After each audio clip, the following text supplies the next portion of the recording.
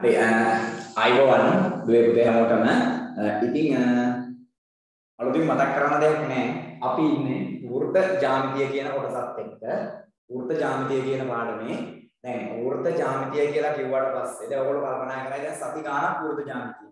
අදත් ඉවර වෙන්නේ. අවසතියක් තියෙනවා. බොහෝ විට. හරි? දැන් කල්පනා කරාවි ඇයි කොහොම මේ මාතෘකාව ඉවර වෙන්නේ නැහැ මාසයක් විතර ඇද්දානේ කියලා. ඔව්. මොකද 10 වසරේ පාඩම් දෙකයි.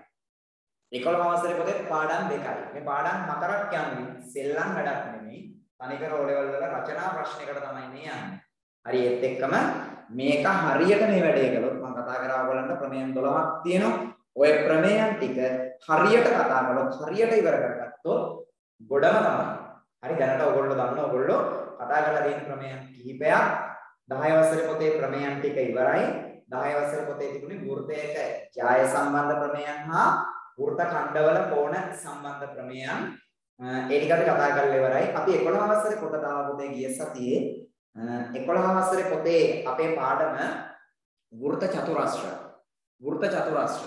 අනේ වෘත්ත චතුරස්‍ර කියන අපේ මාතෘකාවේ පුතේ අපි ඉගෙන ගත්ත ප්‍රමේය ක්‍රමයෙන් ගණනුත් හැදුවා. හැබැයි සාධනය හා සාධනය කරන ගණන් හැදුවේ නැහැ. අපි ඉගෙන ගත්ත ප්‍රමේය තමයි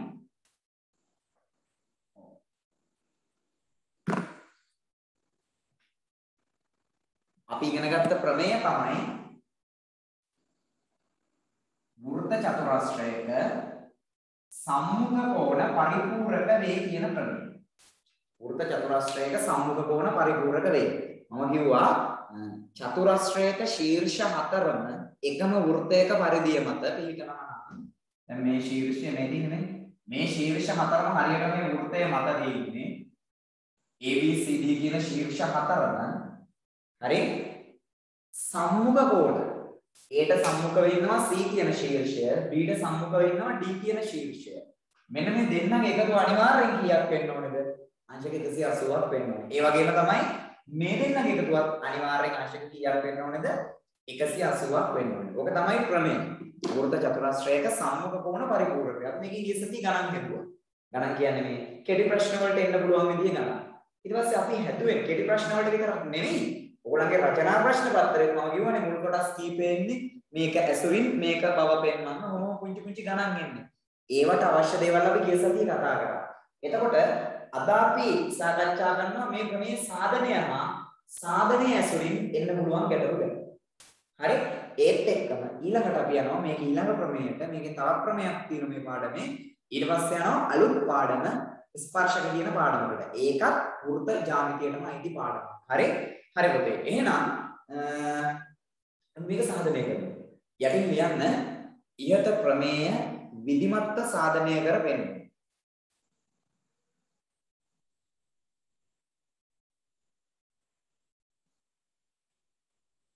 ඉහත ප්‍රමේය මොකද්ද මේ ඉහත ප්‍රමේය? වෘත්ත චතුරස්‍රයක සම්මුඛ කෝණ පරිපූර්ණක වේ කියන ප්‍රමේය තමයි මේ විධිමත්ව සාධනය කරන්න යන්නේ. හොඳේ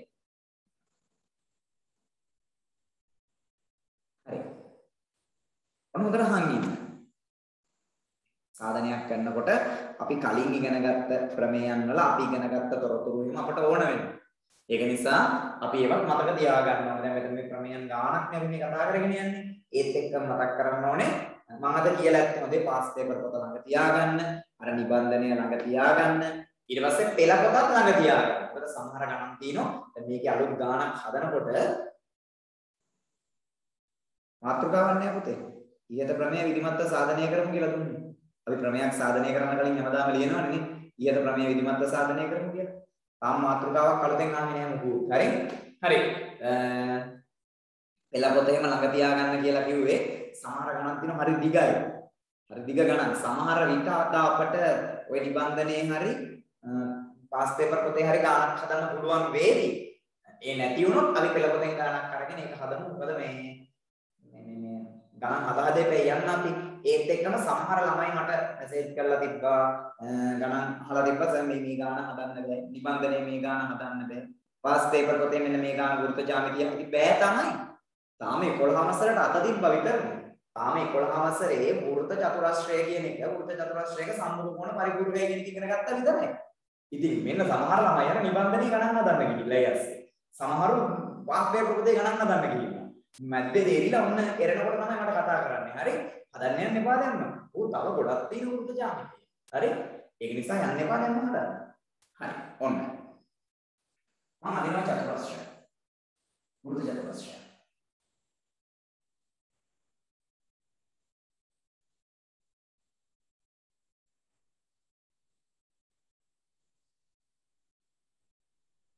මේ වෘත්තයේ කේන්ද්‍රය PQRS කියන්නේ O කේන්ද්‍රය වූ වෘත්ත චතු වෘත්තය තුල පිහිටි වෘත්ත චතුරස්‍රය. එහෙනම් අපි ගාන හදන්න කලින් දන්නේ ඔච්චරයි. දන්න දෙයට අපි කියනවා දත්තේ කියලා. එහෙනම් මේක දත්තේ තමයි නේද? දත්තය.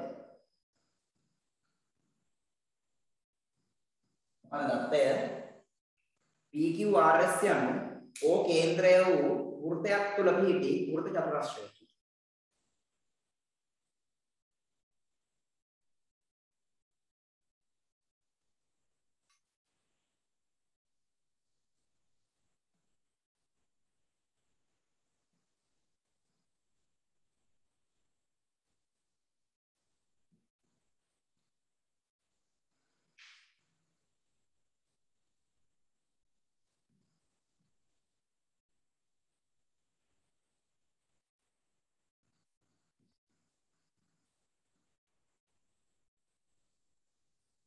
මම හැමදාම කියන දෙයක් තමයි ඇත්තටම දත්තේ ලියන්න මම මෙච්චර මහන්සි කරන්න එපා.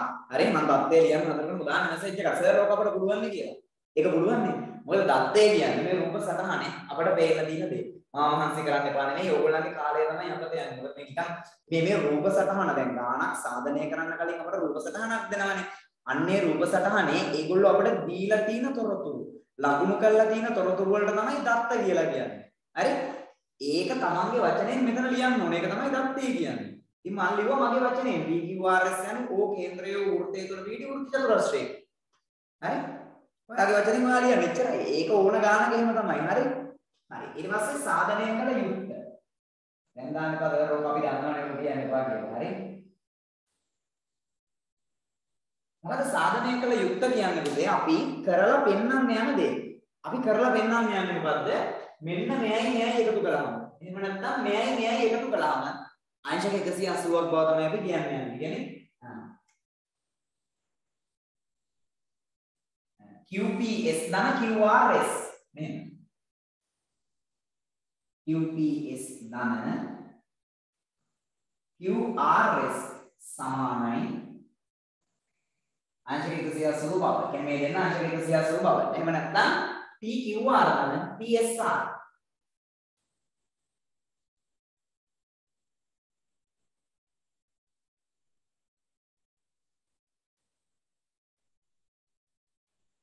මේ දෙකෙන් එකක් කිව්වනම් ඇති. මොකද අපි දන්නවා චතුරස්‍රයක අභ්‍යන්තර කෝණවල එකතු අංශක 260යි. ඉතින් මේ දෙන්නගේ එකතු 180යි නම් මේ දෙන්නත් අනිවාර්යෙන් එකතු කරාම 180යි.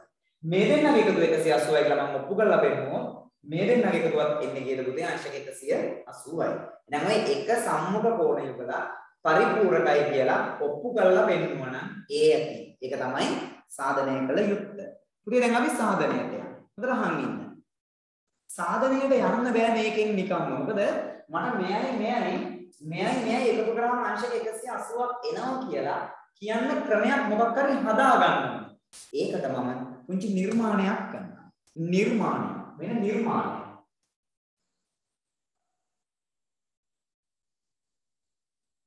ඔන්න නිර්මාණය. මොකද්ද?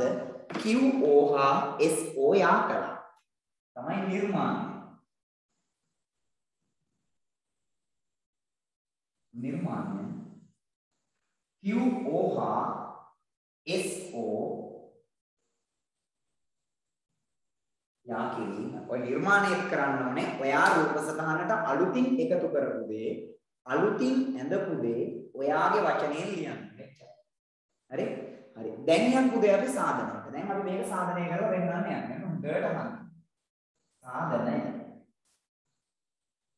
සාධනයේ අපි කලින් ඉගෙන ගත්ත ප්‍රමේය හා ප්‍රත්‍යක්ෂ භාවිතා කරලා නිවැරදිව කරුණු ඔප්පු කරලා කරුණු පෙන්නලා ඒවට හේතු දක්වලා මේක නිසා මේක මෙහෙම වෙනවා කියන එක ඔයා අනුපිළිවෙලක් හදාගෙන ලියන්න. ඒකෙදි මම මේ කියලා දෙන පිළිවෙලම පෙළ පොතේ තියෙන පිළිවෙලම ඔයාගේ ගානේ තියෙන්න ඕන කියලා එහෙම එකක් නැහැ.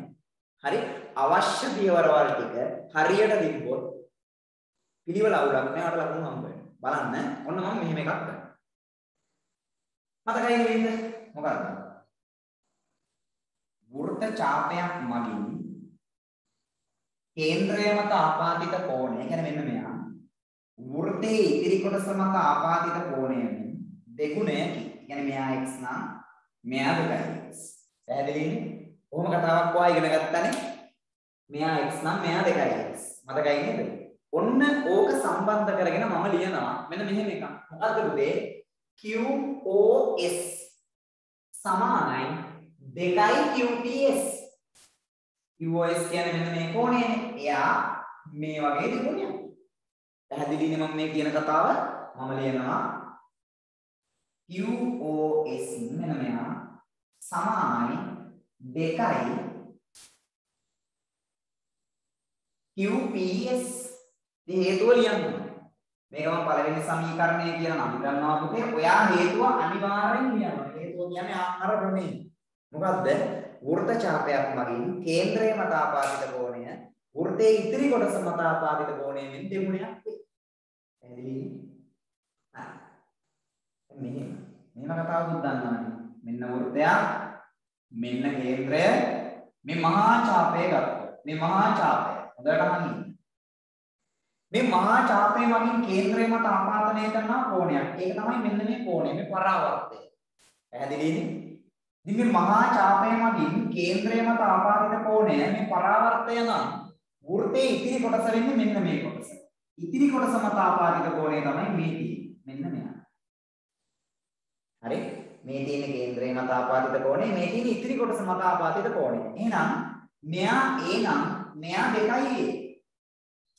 පැහැදිලි නේද? මේ වගේ දෙගුණයක් මෙයා. මම මෙතෙන්ට එනවා. මෙන්න මේ QS කියන්නේ මහා චාප කොටස. මෙන්න මේ මහා චාප කොටසෙන් කේන්ද්‍රයම තාපාදිත කෝණය තමයි මේ. මේ තියෙන වෘත්තයේ ඉදිරි කොටස මත ආපාදිත කෝණය. ඒතකොට කේන්ද්‍රයම තාපාදිත කෝණය මෙන්න මෙයා. එයාව නම් කරන්නේ කොහොමද පුතේ මම? QOS පරාවර්තය කියලා. විනාඩියක් ඉන්න.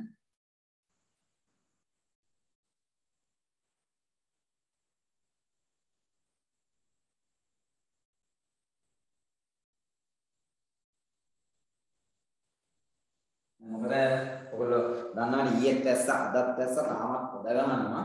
ඉතින් අර පොඩ්ඩක් අර සමහර කාලවල කට් වෙන්න බලනවා සිග්නල් කැඩි කැඩි එන්න බලනවා. හරි මම ඒකට මුන්ගේ සුදුමත් දීලා බලමු. හරි දැන් මට ගෙවුන එක්කෙනෙක් එහෙම ගැටලුවක් දාලා තියෙනවා. ලොකු ප්‍රශ්නයක් වුණොත් කියන්න ඕනේ මට ලොකු ගැටලුවක් වෙන්නේ නැහැ. හරි මෙහෙම. දැන් මම මොකද කිව්වේ? මේ මහා ඡාපය වලින් කේන්ද්‍රය මත ආපාදිත කෝණය මේ මේ පරිදි ඉදිරි කොටස ආපාදිත කෝණය. මම මේ රූපයට આવොත් මේ තියෙන මහා ඡාපය මේ තියෙන කේන්ද්‍රය මත ආපාදිත කෝණය. අර QoS පරාවර්තය. මෙන්න වෘත්තයේ ඉදිරි කොටස මත ආපාදිත කෝණය කවුද? QRS. මේ QRS කියන කෙනා දෙගුණයක් මේ පරාවර්තය. හරි? මේ මෙයා මම ලියන්න පුළුවන් මෙන්න මෙන්න මොකද්ද? QoS පරාවර්තය. පරා සමානයි 2යි QRS.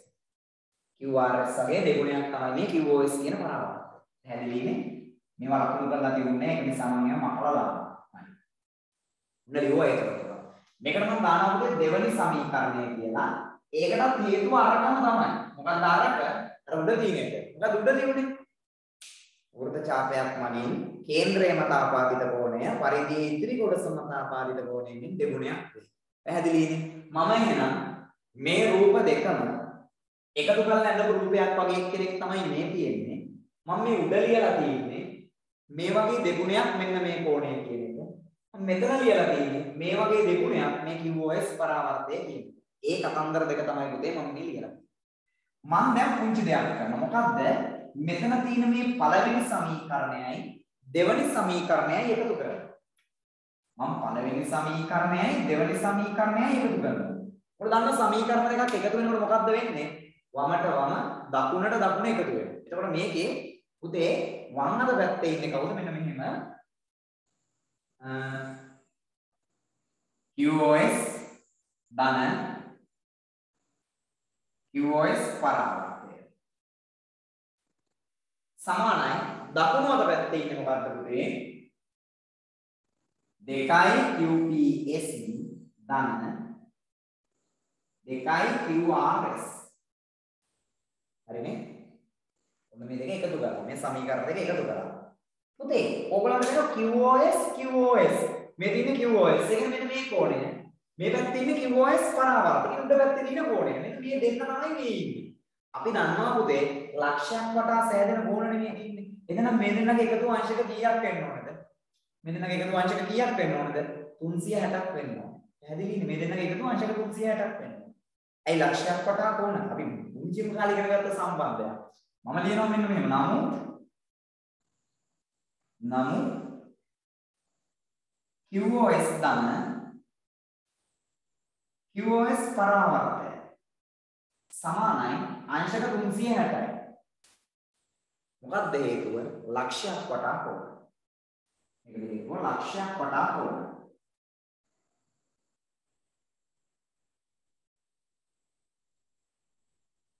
එදිනේ ලක්ෂයක් වටා කෝණ නිසා තමයි මේ දෙන්නගේ එකතුව 360ක්. ඉතින් මේ දෙන්නගේ එකතුව 360ක් නම් පාදාන ප්‍රත්‍යක්ෂ අනුව මේ දෙන්නගේ එකතුවත් කීයක් වෙන්න ඕනද?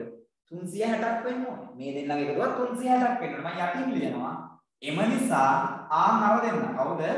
2යි QPS ධන 2යි QRS. අන්න මේ දෙන්නගේ එකතුවත් අංශක කීයකද 360යි.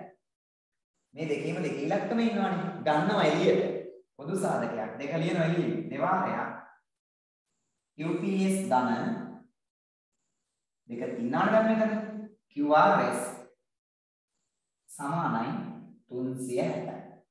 දැන් ඔයගොල්ලන්ට වෙන්නේ සමීකරණ දෙපැත්තම මට දෙකෙන් බෙදන්න පුළුවන් ප්‍රත්‍යක්ෂයෙන්. නේද? මට දෙපැත්තම දෙකෙන් බෙදන්න පුළුවන්. මම යටින් ලියන්න ඕනේ මෙතන ලියන්න. හොඳ? මොකද මම කරන්නේ? ඔය දෙපසම දෙකෙන් බෙදීම. ওই සමීකරණ දෙපැත්තම දෙකෙන් බෙදනවා. හරි බලන්න මේ බෝඩ් එකක් මදි. හිතාගත හැකි ඔයගොල්ලන්ට නේ. හරි මේක දෙපැත්තම මම දෙකෙන් බෙදනවා. එතකොට දෙවාරයක්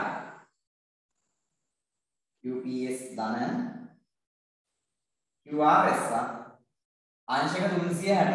හොඳට පටලවා ගන්න එපා මෙතනින් තමයි වෙන් වෙන්නේ. මම මේ දෙපැත්තම දෙකෙන් බෙදනවා. මේ පැත්තේ උදේ දෙකට දෙක ගැටෙනවා. ඉතුරු වෙන්නේ කවුද? QPS ධන QRS සමානයි. 360 දෙකෙන් බෙදුවම අංශක කීයද? 180යි QPS ධන QRS සමානයි. 180 බව තමයි මම සාධනය කරන්නේ. මේ දෙන්නගේ එකතු අංශක 180ක් බව සම්මුඛ කෝණ පරිපූර්ණක බව. ඉතින් ඔන්න බෙන්නුවා හරිනේ. ඔන්න හරි. සාධනය කරලා බෙන්නුවා වැඩේ ඉවරයි. යටින් ලියන්න ඔයා. එම නිසා මේ දෙන්නගේ එකතුව PQR ධන PSR 180යි හේතුවට ලියන්න චතුරස්‍රයක සම්මුඛ කෝණ වල එකතු අංශක sorry චතුරස්‍රයක අභ්‍යන්තර කෝණ වල එකතු අංශක 360ක් වීම. ඒක නොලියුවත් ගැටලුවක් නෑ හොඳේ. මොකද චතුරස්‍රයක අභ්‍යන්තර කෝණ වල එකතු 360යි. ඉතින් මේ දෙන්නගේ එකතු 180 නම් මේ දෙන්නගේ එකතුවත් කීයක් වෙන්න ඕනද? 180ක් විය යුතුයි. ඔබලන් අපහැදිලි කෙනෙක් ඉන්නවා නම් මුලින් ඉඳන් පැහැදිලි කිරීම ආයි පාරක් කරන්න. අකාරසෙන් ටිකක් දාන්න අපහැදිලි කෙනෙක් ඉන්නවා සාධනය. මොකක් හරි කරන්න. හැබැයි පළවෙනි දවසේ නම් පන්ති කරපු කෙනෙක් වෙන්න ඕනේ.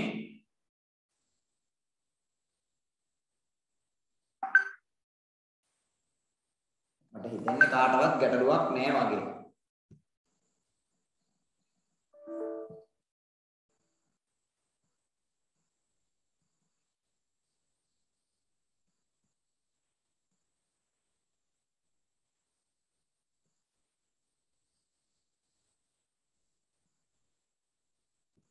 හරි එහෙනම් අපි ලියමු. ආ එකපාරක් කියන්න බලන්න. සර් මට ඕනේ. හරි හරි ඔන්න ආයෙ පොඩ්ඩක් බලා ඉන්න.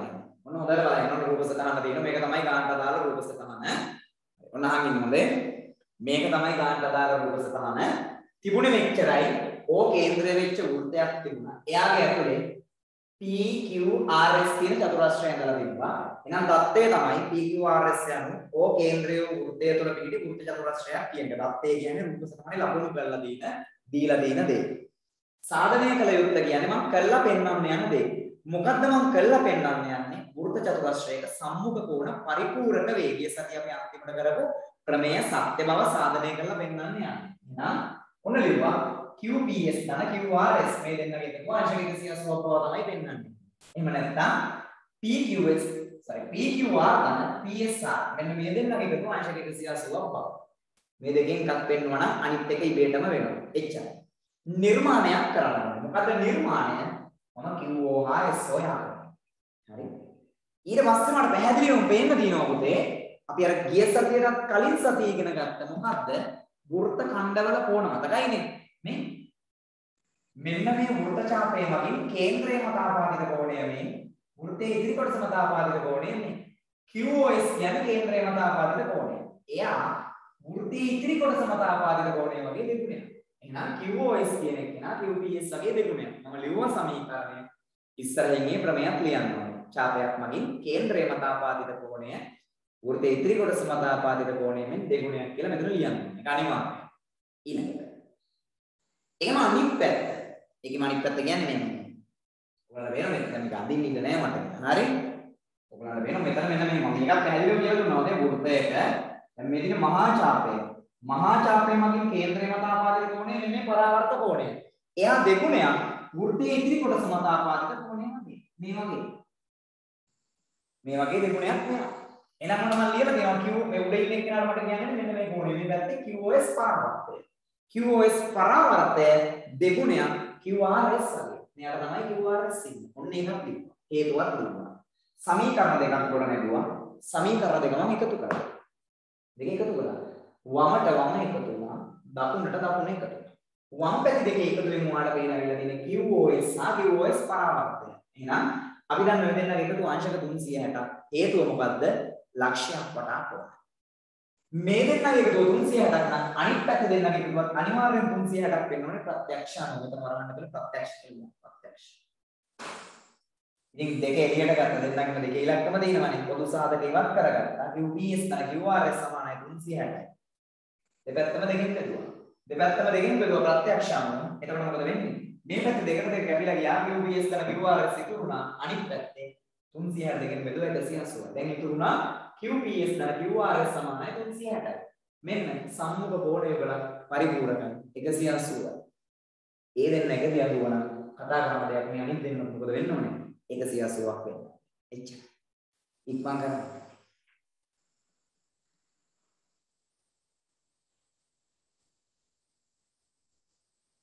ඔක තමයි ක්‍රමයේ සාධනය.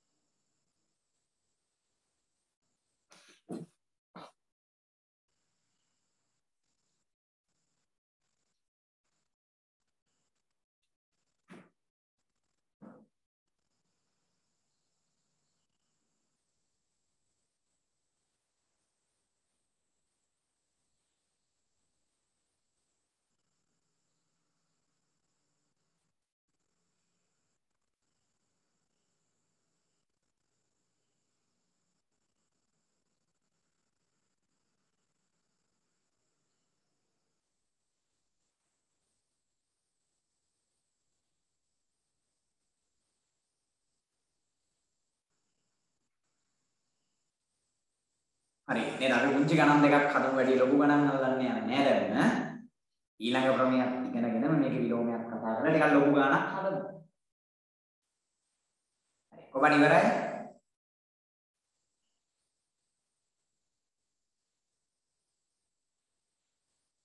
අපි ශීතරයි දාන්න ඉක්මන් කරන්න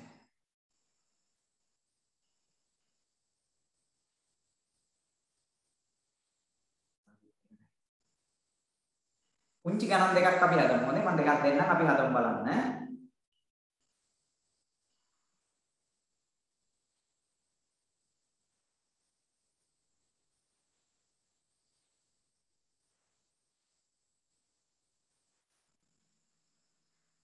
මොකද හොඳේ ගොඩක් අය ඉවරයි.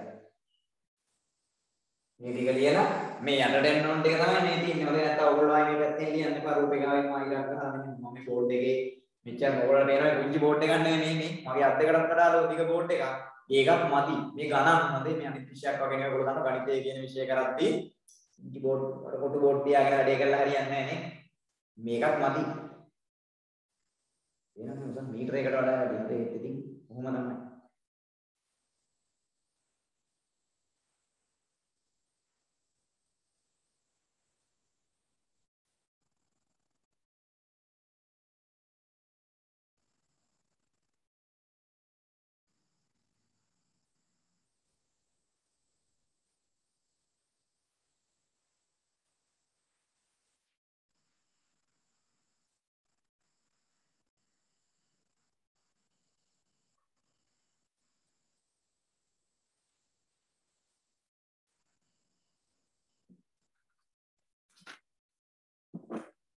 ලියන්න. ABCD යනු ABCD යනු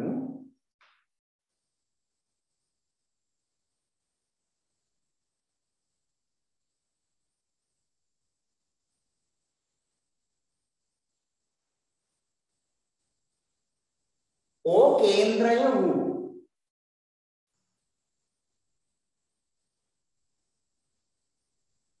ඕ කේන්ද්‍රය වූ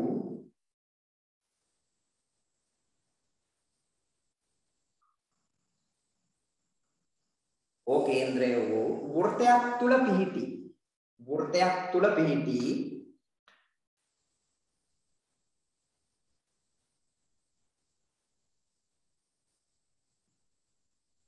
වෘත්තයක් තුල පිහිටි වෘත්ත චතුරස්‍රයකි ABCD යනු ඕ කේන්ද්‍රය වූ වෘත්තයක් තුල පිහිටි වෘත්ත චතුරස්‍රයකි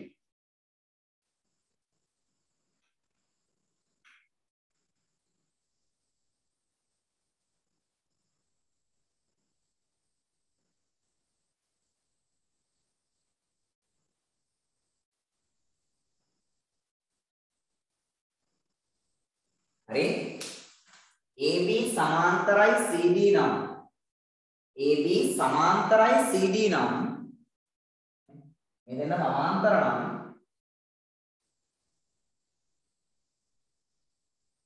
BAB සමානයි ABC බව. BAB සමානයි ABC බව. මෙන්න මේ දෙන්න සමාන බව. සාධනය කර පෙන්වනවා සාධනය කර පෙන්වන්න. වැඩිය වේලි ගොඩක් ලියන්න අවශ්‍ය නැහැ. පියවර ගානක් යන්නේ නැහැ. හරි ලේසි. හරි? ABCD යනු O කේන්ද්‍රයෝ වෘත්තයක් තුල පිහිටි වෘත්ත චතුරස්‍රයකි. AB සමාන්තරයි CD නම් DAB සමානයි ABC බව සාධනය කර පෙන්නනවා. පැහැදිලිනේ? ඔන්න රූප සටහන තියෙනවා. දත්තේ දැන් ගන්න ලියන්න ඕන දේ සාධනය කළ යුත්තේ මෙන්න මේක නිර්මාණ නෑ මේක. හොඳේ නිර්මාණ නෑ. පරණ ක්‍රමයක් දෙකක් ඇදලා ගන්න වේවි සමහර විට දෙකක් ඕනේ එකක් විතර. මේ ඉගෙනගත්ත ක්‍රමයක් ඕන වේවි. මේක සාධනය කරලා වෙන්නන්න බලන්න. ඊට පස්සේ මම මයික් ඔන් කරනවා මාත් එක්ක හදමු කට්ටිය.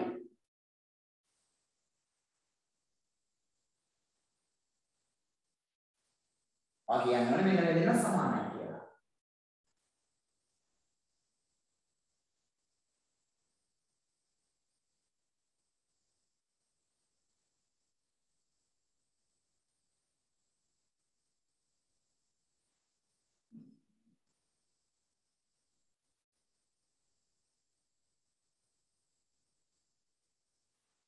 කාට හරි ඉක්මනට ගාන හදන්න පුළුවන් නම් ගාන හැදුවා මට කොටයක් දාන්න මේකට.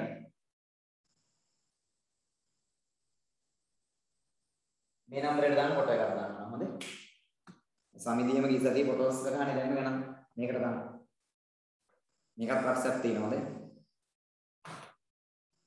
ඉක්මන් කරා මහ වෙලාවක් යනවා. පියවර කීපයයි. දත්තය සාධනය කළ යුතු නීති සාධනය කියන පියවරේ පියවර වලට හරි කියන්නේ. ගොඩක් නෑ. ඒ 3යි 4යි ලියවෙන්නේ.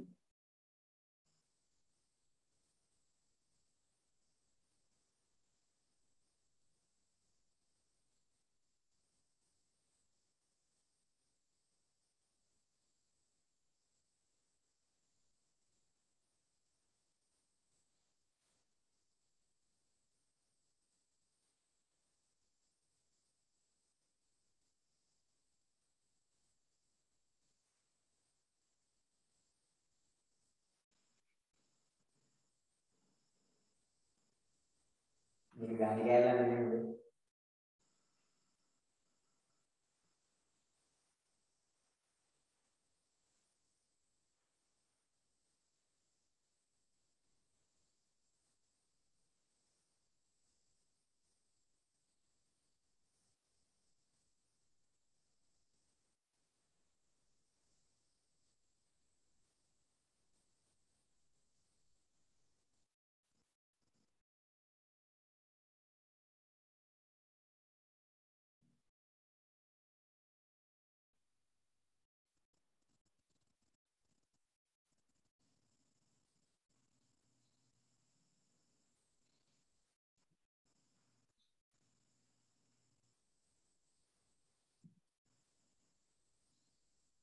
තාම නැහැ කාගෙන්වත් උත්තර ආවේ.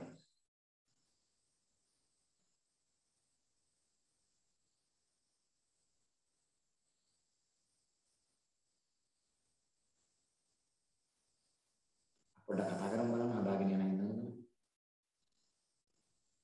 ඔබාට ගන්න හදන්න පටන් ගත්තා ඉන්නම් කතා කරන්න බලන්න මයික් එක ඔන් කරලා පටන් ගත්තද පුතේ? අරුෂි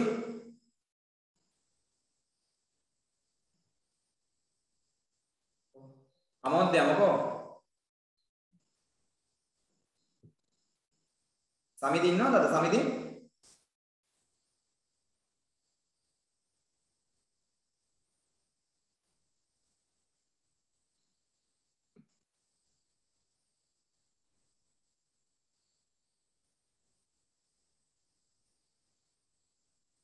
සමිති ඉන්න මොකෝ පටන් ගත්තේ නැද්ද ගන්න? අපි පුතේ කලින් ඉගෙන ගත්ත ප්‍රමේයන් වලින් අට අවසරේදී වගේ ඉගෙන ගත්ත. දැන් ගෙල්ලෝ කතා කරන්නේ නැහැ. ඉස්සර නම් කොල්ලෝ ටික විතරයි කතා කරන්නේ නැත්නම් මේගොල්ලෝ පැන පැන කතා කරන්නේ ගානකට උත්තර කරනවා. මම ඒක ඔක්කොල දෙන්න දන්නේ. ඉක්මනට දාන්න බලන්න කොහොමද? අමෝද්ද දාන්න. දැන් ගෑල් ළමයි ටික කතා කරන්නේ නැහැ.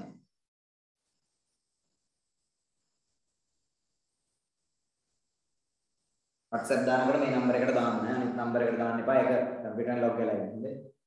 මේකෙන් තමයි මට බලන්න පුළුවන් එක. ඉක්මන් කරන්නද වෙලාව ගන්න එපා. අද අපිට මේ පාඩම ඉවර කරලා ඊට පස්සේ ස්පර්ශක කියන පාඩම ඒක අපි ළඟ අද පුළුවන් වෙයි. ආ දර්ශකයෙන් කතා කරන්න නැති වෙනවා. අමෝද්ද හදන අමෝද්ද දාන්න නැත අම්මට දාන්න ඕනේ.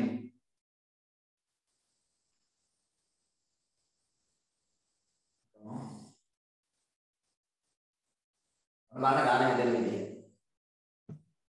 දත්තය.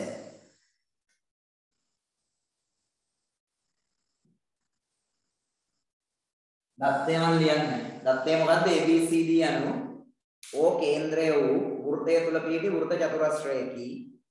තව දෙයක් දත්තයට ලියවෙන්න ඕනේ මොකද්ද? AB සමාන්තරයි CD හරි? අර වාක්‍ය විතර ඊට පස්සේ ලියන්න ඕනේ AB සමාන්තරයි CD මොකද ඒකත් ලකුණු කරලා තියෙන රූප සටහනයි. හරි? පොඩ දත්තේ ලියනකොට ABCD යනු O කේන්ද්‍රය වූ වෘත්තයක් තුළ පිහිටි වෘත්ත චතුරස්‍රය කියලා ලියලා AB සමාන්තරයි CD කියන එකත් දත්තේම තියෙනවා. හරි? AB සමාන්තරයි CD කියන එකත් දත්තේම තියෙනවා. සාධනය කළ යුක්ත. සාධනය කළ යුක්ත. මොකද සාධනය කළ යුක්ත? DAB සමානයි ABC බව. DAB සමානයි ABC බව. මෙන්න මේ දෙන්න සමාන බව තමයි සාධනය කළ යුත්තේ. ඔන්න හොඳට අහන්න. මම කොට පේලි දෙකයි. හරි? මොන්ද ගන්න දාලා සමන්නේ වෙන සාධනය කරගෙන යන්න. පුතේ ඔයාලට පේනවා හරියට හරි. පියුමි මට එවලා තියෙනවා. ක්‍රමයන් දෙක මට එවලා තියෙනවා පියුමි. මොකක්ද එකක් අර හතවස් අටේ දිනේ අටේ ඉගෙන ගන්න මිත්‍ර කෝණ ක්‍රමයයි අද ඉගෙන ගත්ත වෘත්ති චතුරස්‍ර ක්‍රමය. දැන් ඔයා දන්නවා මෙන්න මේක දන්නවනේ පුතේ ඔයගොල්ලෝ. මෙන්න මෙයාගේ මෙයාගේ එකතු 180යි කියලා දන්නවනේ. ඇයි හේතුව? සමාන්තර රේඛා අතර සෑදෙන මිත්‍ර කෝණ. මේ දෙන්නගේ එකතුව 180යි. එහෙනම් ඔයාලට ලියන්න පුළුවන්. මොකද ලියන්න පුළුවන්? DAB ධන ABC. මෙයයි මෙයයි. මේ කෝණේ නම DAB. මොනවම ලියනවා? හරි? සාධනය. සාධනය. මෙයාගේ නම DAB. DAB ධන මෙයාගේ නම ADC. ADC සමානයි 180යි. හේතුව මිත්‍ර කෝණ. සමාන්තර රේඛා අතර සෑදෙන මිත්‍ර කෝණ. හරි? ඊට පස්සේ පුතේ අපි දන්නවා මෙයයි මෙයයි එකතු කරක් කීයද? මේ දෙන්න එකතුවක් කීයද? ඒ දෙන්නත් 180යි. ඇයි? වෘත්ත චතුරස්‍රයක සම්මුඛ කෝණ. එහෙනම් මට ඒකම කියන්න පුළුවන් මෙයා කවුද ABC? ABC දන්න හැදෙන්නේ ABC දන්න ADC සමාන 180යි. හේතුව වෘත්ත චතුරස්‍රයක සම්මුඛ කෝණ.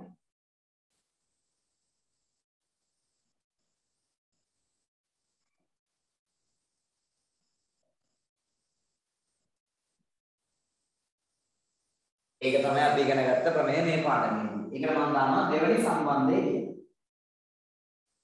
බලන්න පළවෙනි සම්බන්ධයේ දෙවෙනි සම්බන්ධයේ දෙකේම දකුණු අත පැත්තේ ඉන්නේ 180. එහෙනම් පළවෙනිය සමානයි දෙවෙනියට. මේ දෙන්න සමානයි.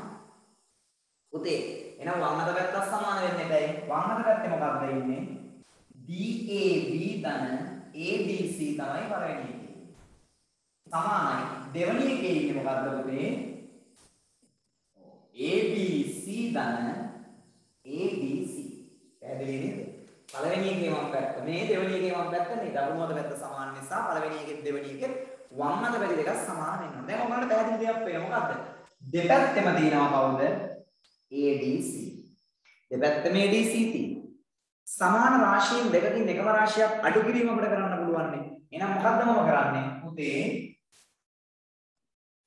දෙපසින්ම ABC අඩු කිරීම. දැන් හරිනම් ඕගොල්ලෝ ලියන්න ඕනේ. මොකද මේ පැත්තේ ධන ABC ඊට ඍණ ADC, එහා පැත්තේ ධන ADC ඊට ඍණ ADC කියලා ලියන්න ඕනේ තව පියවරක්. හොඳ කියන්නේ මේ දෙන්නම ලියලා එතන ලියනවා ඍණ ADC අර පැත්තෙන් ලියන්න ඕන. ලියන්නේ නැහැ කාලය අපරාධයක් ඒක. හරි? ලියලා ඊට පස්සේ ලියන්න ඕනේ. එම නිසා මොකද වෙන්නේ? DAB සමානයි ABC. දෙපැත්තෙම මෙයාව අඩු කරනම මේ දෙන්න සමානයි. පැහැදිලි නේද? මේක කරන්නේ කොහොමද? ප්‍රත්‍යක්ෂාන. කොච්චර ගන්න කොච්චර සරල සාධනයක්ද කියලා. නේද? මට පියුමි දැම්ම මෙහෙම කරා නම් හරි මෙහෙම කරා නම් හරි කියලා. ම්ම්. එව්වලු ආවෙ නැහැ. මොකද? මොකද අනිත් නම්බර එකට දන්නේ නැහැ මේක වෙනවට බලන්න බෑ පුතේ මන්ද. ඉතින් නම් දැන් අනිත් එකට යවන්න. එකට යවන්න එපා. මේකෙත් නෑ මොකද. හරි. පුතේ අහන්න. ඔන්නේ නම් පැහැදිලි නේද සාධනය කරපු විදිය? මොකක්ද අපි යොදාගත්තේ? ඔන්න බලන්න ඔතේ සාධනයක් තනියම කරන්න ඉගෙන ගන්න. මේක හරි පුංචි දෙයක්. ඊළඟට තව ගානක් දෙන්න. තව එකක් දෙනවා. එච්චරයි ඊට පස්සේ මේ ක්‍රමයෙන් සාධනයවල ඔක්කොම ඉවරයි. මේකේ විලෝමය කියලා දුන්නා. විලෝමයෙන්ුත් ගානක් හැදුවා. විලෝමයෙන්ුත් ගානක් හැදුවා. ඊට පස්සේ ගියා තව ක්‍රමයක් තියෙනවා මේ පාඩමේ එකට. ඊට පස්සේ චතුරස්‍රය ඉවරයි. ස්පර්ශක වලට තමයි යන්න දෙන්නේ. හරි? හරි. එව්වට ආවේ නෑ නේද වෙන කාට හරි එව්වක් දන්නේ නැහැ මොකද මෙන්න මේක නම්බර එක. 1යි 7යි 1යි 22යි 429. ඔයගොල්ලෝ වදන ගණන් ටක් ගාලා පොත ගන්නකො මේකට දැම්ම හොඳේ.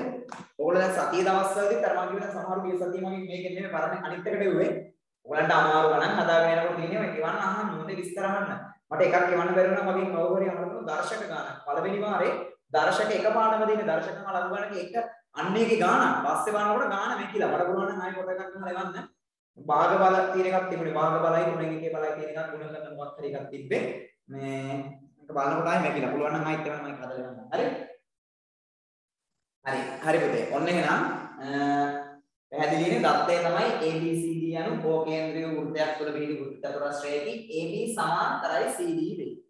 AB CD සමාන්තරයි කියන එක අනිවාර්යෙන් දත්තය ඇතුළේ තියෙන්න ඕනේ නැත්නම් මේක ලියන්න බෑ. චිත්‍රකෝණ කියන එක මෙතන ලියන්න බෑ. හරි? හරි. එහෙනම් සාධනය කළ යුතු තමයි මොකද්ද? මෙන්න මෙයයි මෙයයි. DAB සමානයි ABC. මේ දෙන්න සමාන බව තමයි සාධනය කළ යුත්තේ. එදින සාධනය කරන්නේ කොහොමද මම? මම අල්ලගන්න අතරමැදියේ මෙන්න මේක තමයි අතරමැදියා. මෙන්න මෙයා අතරමැදියා. කොහොමද එයා සම්බන්ධ කරගන්නේ මේ වැඩේට? මේ දෙන්නගේ එකතු 180යි. මේක තමයි නියම DAB ධන ADC. DAB ධන ADC මේ දෙන්නගේ එකතු 180යි. හේතුව සමාන්තර රේඛා අතර හැදෙන මිත්‍ර කෝණ දෙකක් ඒක. ඊට පස්සේ ලියනවා මෙන්න මේ දෙන්නත් 180යි. නේ? මෙයයි මෙයයි. ඒක අද ඉගෙන ගත්තේ. අද නේ කීසතියි. ABC ධන ADC මේ දෙන්නත් 180යි. හේතුව වෘත්ත චතුරස්‍රයක සම්මුඛ කෝණ. මේ දෙන්නගේ එකතු 180යි මිත්‍ර කෝණ. මේ දෙන්නගේ එකතු 180යි වෘත්ත චතුරස්‍රයක සම්මුඛ කෝණ. ඉතින් සමීකරණ දෙකේම දකුණු අත පැත්තෙන් 180. දෙකේම දකුණු අත පැත්තෙන් 180. හරි. එහෙනම් වම් අත පැත්ත සමාන වෙන්න බෑ. එහෙනම් මේ දෙන්නගේ එකතුව සමානයි මේ දෙන්නගේ එකතුව. ඒක සමානයි. දෙපැත්තෙම ඉන්නවා ADC දෙපසින් මේ ADC අඩු කරනවා ප්‍රත්‍යක්ෂාන්ව. ඒතර මේ දෙන්න මොකද වෙන්නේ? මේ මේ සමානයි. නිකන් මේ පොඩ්ඩක් පුළුවන් නම් නවය වගේ පොතක් හොයාගෙන බලන්න. නවය වගේ ප්‍රත්‍යක්ෂ පාඩම කියලා දෙනකොට මට මතක නැහැ කවුද කියලා. තරුෂින් හරි නෑ. තරුෂින් ළමයිදිද මම. හරි? ප්‍රත්‍යක්ෂ පාඩම කියලා දෙනකොට ඕගොල්ලන්ගෙන් එකම රාශියකට සමාන රාශීන් සමාන වේ කියන ප්‍රත්‍යක්ෂය උගන්වද්දී මම මෙන්න මේ උදාහරණයක් ගත්තා. මම නිකන් ලාවට වගේ මතකයි. P ධන Q සමානයි 180 හා R ධන Q සමානයි 180 නම් P සමානයි R බව පෙන්වනවා. බව පෙන්වනවා. ඔන්න ඔය උදාහරණයක් තමයි මම ගත්තේ එකම රාශියකට සමාන රාශීන් සමාන වේ කියන ප්‍රත්‍යක්ෂ උගන්වනවා. එතකොට මෙයා පළවෙනි සමීකරණය මෙයා දෙවෙනි සමීකරණය කියලා දානවා. පළවෙනි සමීකරණය සමානයි දෙවෙනි සමීකරණය කියලා දැම්මා නේද? එතකොට දෙපසින්ම Q අඩු කරනවා. දෙපැත්තෙම Q වෙන නිසා Q අඩු කරනවා කියලා දැම්මා. එතකොට P සමානයි R වෙනවා. මේ කියලාදී මට මතක නැහැ සමිලිය අමෝද්දේද මන්ද කවුරු හරි යවුවා ඇයිද රොබට එක දිහා අකුණු ගත්තේ කියලා. හරි? මම මොකද වෙන එකක් ගත්තත් අවුලක් නැහැ. නමුත් ඉස්සරහට යන ගොඩක් ගණන් වල ඔතන 180 එදෙනවා පුතේ කියලා මම කිව්වා. මේ තියෙන වගේ අවස්ථාවක්. දැක්කනේ. හරි? අමෝද්දේ තමයි මට මතක ඇහුවේ දා. ඇයි සර් එකට 180ම ගත්තේ කියලා. හොඳයි මම කැමති එහෙම ප්‍රශ්න අහනවාට නේද? ඉදා මම කිව්වා ඉස්සරහට එදෙන ගොඩක් ගණන් වල ඔය 180 කියන එක තමයි ඔතෙන්ට එන්නේ. නේද? ප්‍රත්‍යක්ෂ භාවිතා ගන්නකොට ඔය ආව එක. හරි? හ්ම්. දාන ලියා ගන්න හදාගන්න බැරි වෙච්චා.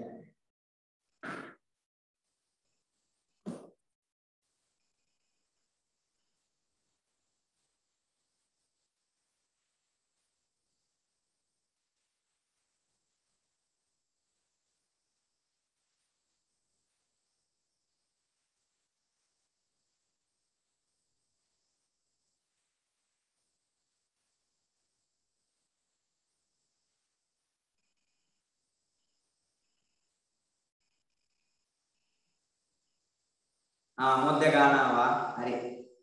මේ වාක්‍ය නෑ. අර මං කියපු බේරියක් නෑ. හොඳයි.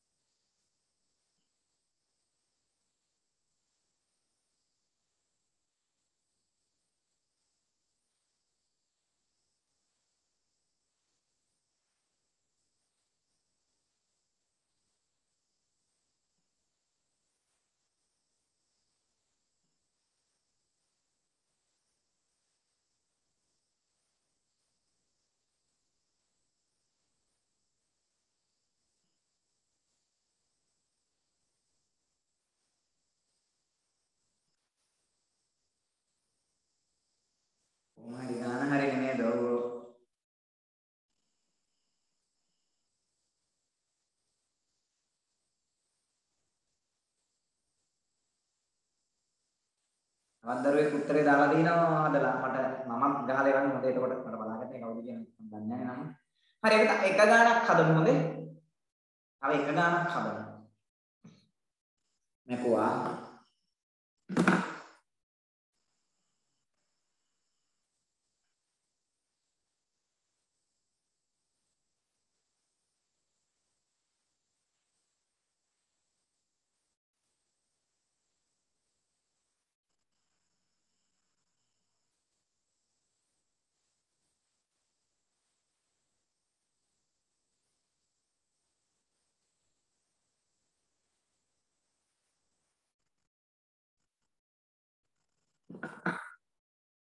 ලියන්න PQRS යනු. PQRS යනු.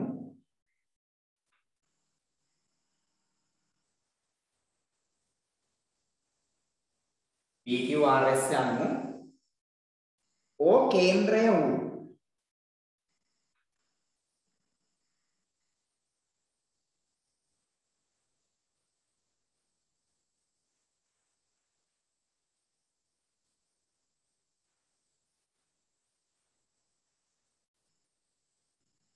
ඕ කේන්ද්‍රය වූ වෘත්තයක් තුල පිහිටි වෘත්ත චතුරස්‍රයකි. PQRS යනු ඕ කේන්ද්‍රය වූ වෘත්තයක් තුල පිහිටි වෘත්ත චතුරස්‍රයකි.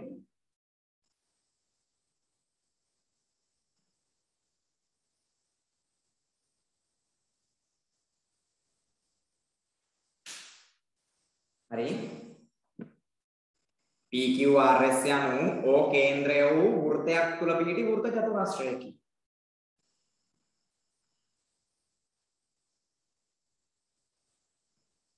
හරි PR විකර්ණයෙන් PH PR විකර්ණයෙන්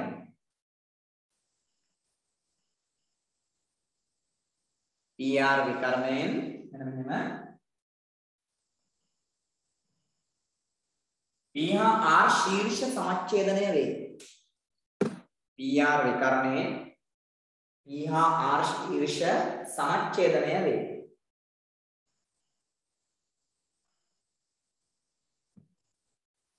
සමච්ඡේදනය වේ.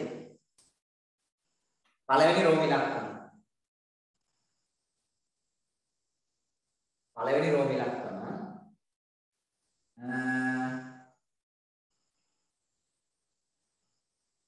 PQR ත්‍රිකෝණය අංග සමයි PSR ත්‍රිකෝණය බව. හා බව හා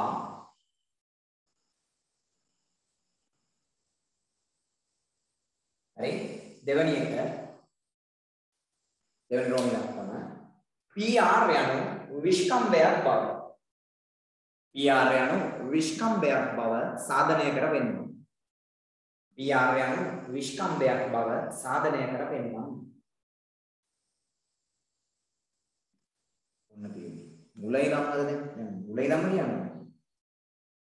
මොකද මම මුලින්ම කිව්වේ PQRS යනු ඕ කේන්ද්‍රය වූ වෘත්තයක් තුල පිහිටි වෘත්ත චතුරස්‍රයකි.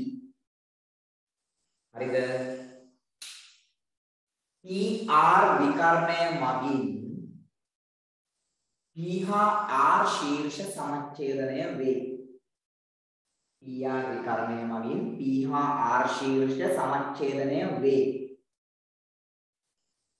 පළවෙනි රෝමි ලක්ෂණ PQR ත්‍රිකෝණය අංග සමයි PSR බව. හා දෙවනි රෝමි ලක්ෂණ PR වෘත්තයේ විස්කම්භයක් බව.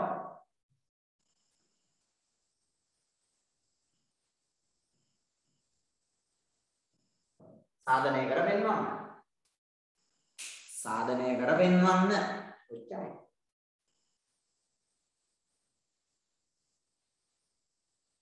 ඉක්මන් කරන්න ගොඩක් වෙලා දෙන්නේ නැහැ හොඳේ.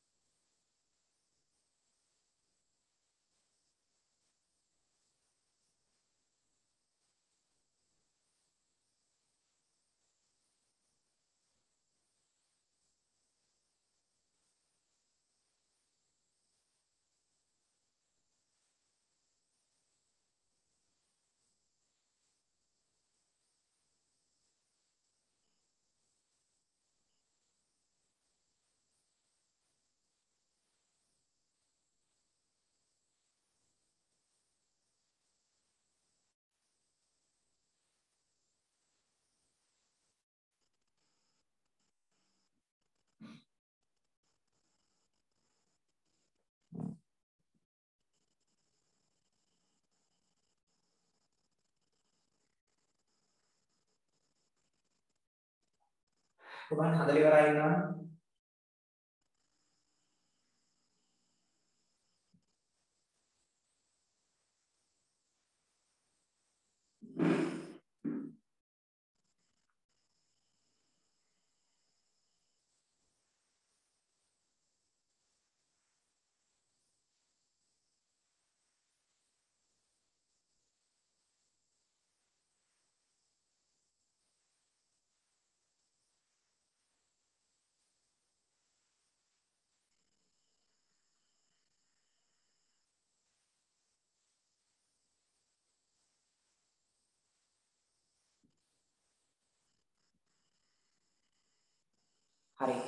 පරිශය හරි. අර ඊළඟ පියවර තමයි ඊළඟ වැදගත් වෙන්නේ. හොඳයි. ටංගාලා පුළුවන් නම් කොහොම ෆොටෝ එකක් ගහලා දාන්න බලන්න ගන්න.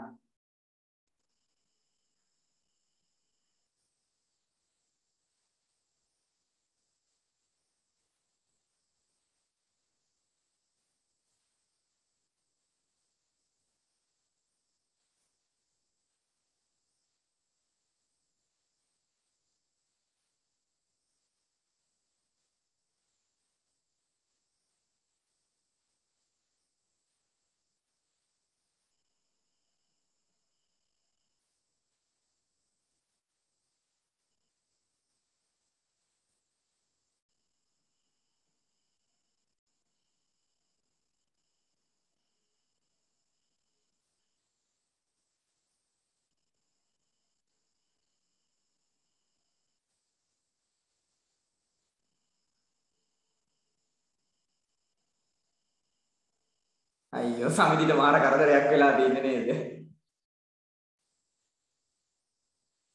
සමිති මට එවන්න බලන්න සමිති මේ අංග සම කරපු අවස්ථාව මේ ඔම්මනියා ටයිප් කරලා එවන්න. හරි හරි. ඊට පස්සේ සමිති ඊළඟ පියවරට ගියේ මොන ප්‍රමේයත් එක්කද කියලා එවන්න බලන්න.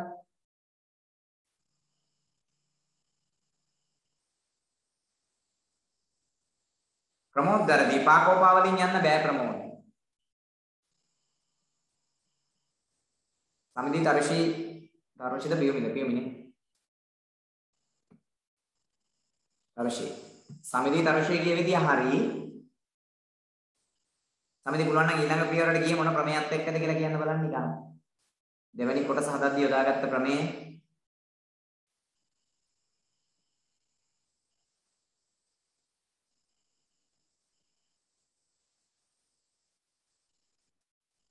රුෂිනා හෙල්ප් බෑක් ඉල්ලනවා. හරි. අපි මේ දැන් දැන් ඔගේ ඔව් දැන් ඇත්තටම පළවෙනි කොටස බලමු එකක් හදාගන්න බැරි අය ඉන්නවා. ඔව් දුමින්දු හොඳයි. ඒ කවුද කුජිත්ම කරනපා ගහලා කොහොමද කරනපා වෙන්නේ?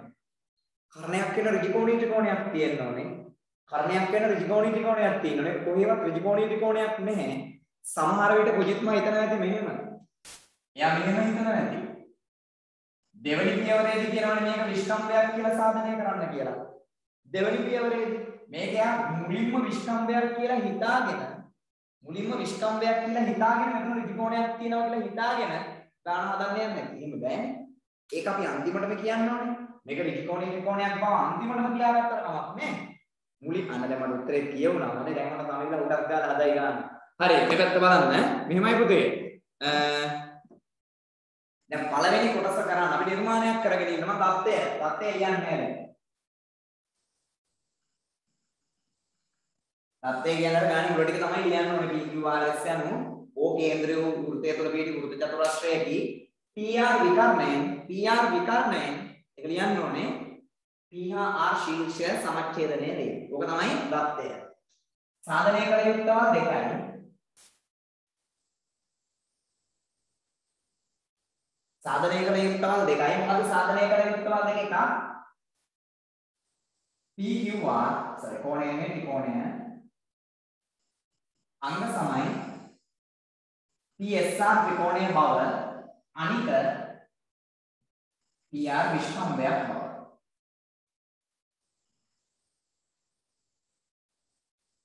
ওই දෙක තමයි සාධනය කළ යුත්තවල් දෙක පුතේ නිර්මාණයක් කරගන්න ඕනේ හරි? පින් ගන්නත් සැපට දාලා බලන්න. නිර්මාණය තමයි PR යා කරන්න ඕනේ. බඩයලක් වගේ නෑ හරි? PR යා කරන්න ඕනේ. ඔක තමයි නිර්මාණය. දැන් ඕගොල්ලෝ කියයි සමහරක් අයට PR යා කරද්දි කේන්ද්‍රය හරහා යන්නේ නැති මේ රේඛාව. සමහරක් අයගේ කේන්ද්‍රය හරහා නොයන්නේ නැති. ඒක ගැටලුවක් නෑ. ඒක අවුලක් නෑ. මොකද මේක දල සටහනක්නේ. තාම ගාන හදලා ඉවර නෑනේ.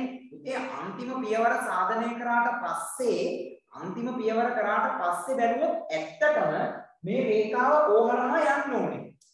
ඇත්තම කතාව මේ රේඛාව PR යාගන්න රේඛාව ඕහරහා යන්න ඕනේ. අන්තිම කොටසත් හැදුවට පස්සේ. හැබැයි අන්තිම කොටස හදන්න කලින් ඔයා මේ නිර්මාණය කරන්නේ. නේද? ඒක නිසා ඒක නිසා ඔයා නිර්මාණය කරද්දී මේක ඕහරහා නුගියට අවුලක් නෑ. ඕහරහා නුගියට අවුලක් නෑ නිර්මාණය කරද්දී. මතක තියාගන්න. මොකද මේක දලසක්. සමහරක් අය යෝහරහා යන්නේ නැති සමහරක් අය යෝහරහා නොයන්නේ නැති කෙනෙක්ට හිතෙන්න පුළුවන් කොයිද මේක අංග සමයෙන් මේක ලොකුයි මේක පොඩියි කියලා.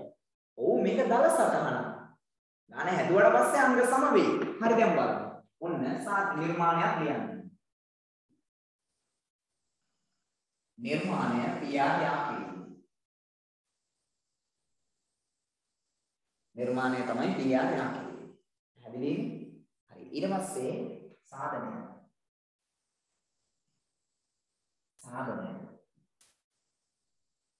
PQR හා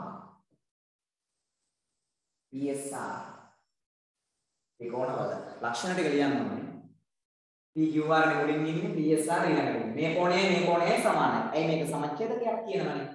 QPR SPR දෙක සමානයි.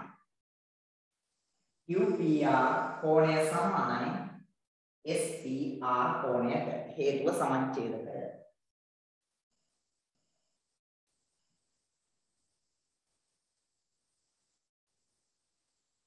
යට QRP SRPට සමානයි.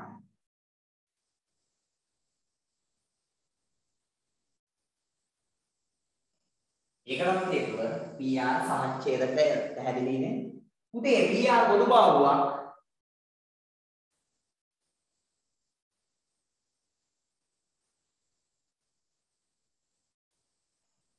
PR පොදු බාහුවක් මෙයා පොදුයි. එම නිසා PQR ත්‍රිකෝණය අංග සමයි PSR. ගොඩක් අය මට අවස්ථාව දැම්මා හරියට. ගොඩාක් අය දැම්මා. හේතුව මොකක්ද උදේ? කෝකෝපා. ඔන්න සාධනයක හරියි.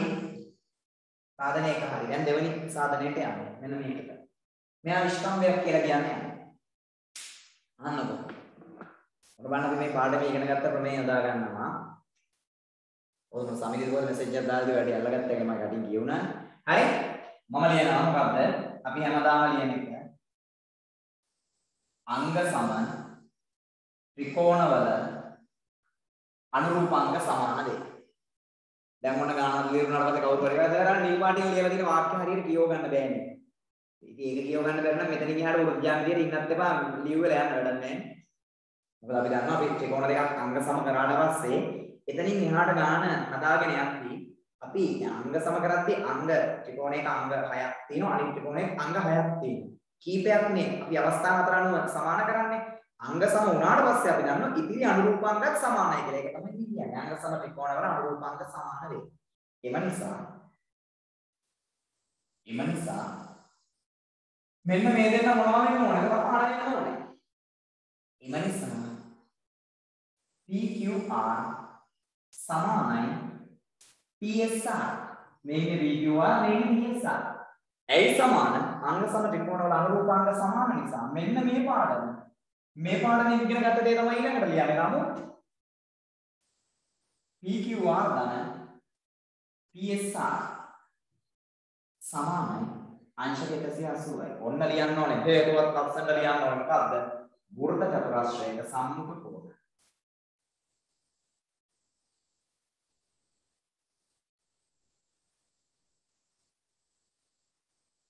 වෘත්ත චතුරස්‍රයක සම්මුඛ කෝණ පරිපූර්ණක නිසා මේ දෙන්නගේ එකතියක් එකතු 180යි. ඒ මේ දෙන්න සමානයි. දෙන්නගේ එකතු 180යි. එන එකක් කීයේ 90යි. එහෙනම් මෙයා 90යි. මෙයා කියලා 90යි. පැහැදිලි නේද? ඒක ඉතින් ලියන ක්‍රමයක් තියෙනවා. දැන් මේ දෙන්නගේ එකතුව 180යිනේ. මට ලියන්න පුළුවන් මෙන්න මෙහෙම. මම මෙතෙන් දෙනවා හොඳේ. මම තමයි මෙහෙම ලියන්නම්කෝ. එම නිසා 2යි PQR සමානයි 180යි කියලා මට ලියන්න පුළුවන්.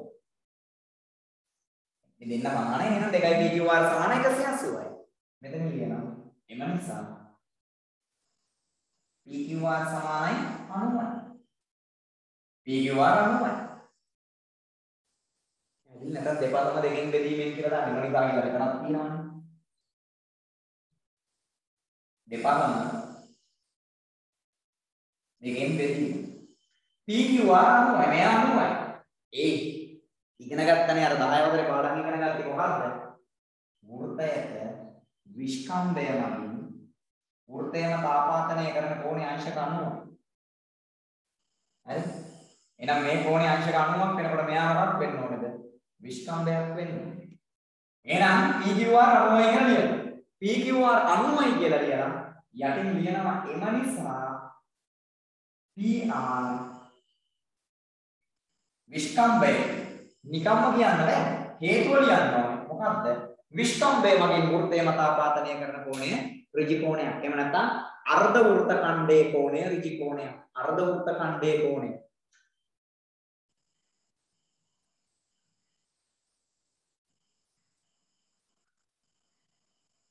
අර්ධ වෘත්ත ඛණ්ඩයේ කෝණය ඍජු කෝණය පැහැදිලි නේද ගන්න මෙතෙන්ට වෙනකන් අවුලක් නැහැ සාධනය. හරි? මෙතෙන්ට වෙනකන් මොකද්ද කරේ? ත්‍රිකෝණ දෙක අංග සම කරගත්තා. නිර්මාණය කරද්දී මේ නිර්මාණය මම කිව්වද වැඩේ අන්තිම වෙනකොට මෙයා VR විස්කම්භයක් වෙන්නේ නැහැ VR විස්කම්භයක් වෙන්න ඕන නිසා වැඩේ හරි විදිහට නම් ඕවරහා යන්න ඕනේ. නමුත් අපි ගාන හදද්දි දන්නේ නැහනේ අපි ගාන හදද්දි ඔක දන්නේ නැහැ. ඒක නිසා ගාන හදද්දි අදින දලසටහනේ ඕවරහා නොගිය කවුලක් නැහැ. ඒක දලසටහනක් නේ පස්සේ තමයි අපි දන්නේ වැඩේ. මෙයා විස්කම්භයක් නම් කොහොමද ඕවරහා යන්නේ නැහැ. ඒක වෙනකන් අපි දන්නේ නැහැ. ඒ නිසා දලසටහන එහෙම නොතිබ්බගෙන ගැටලුවක් මේ නිර්මාණය VR යනවා හරි ඊට පස්සේ අපි දන්න අංග සම කරගත්තට පස්සේ අංග සම ත්‍රිකෝණ අනුරූපාංග සමානයි. ඒ අනුව ගත්තොත් මේ කෝණ දෙක සමානයි. මම මේ මේවා දාලා දෙන නිසා මේවා මම කරනවා.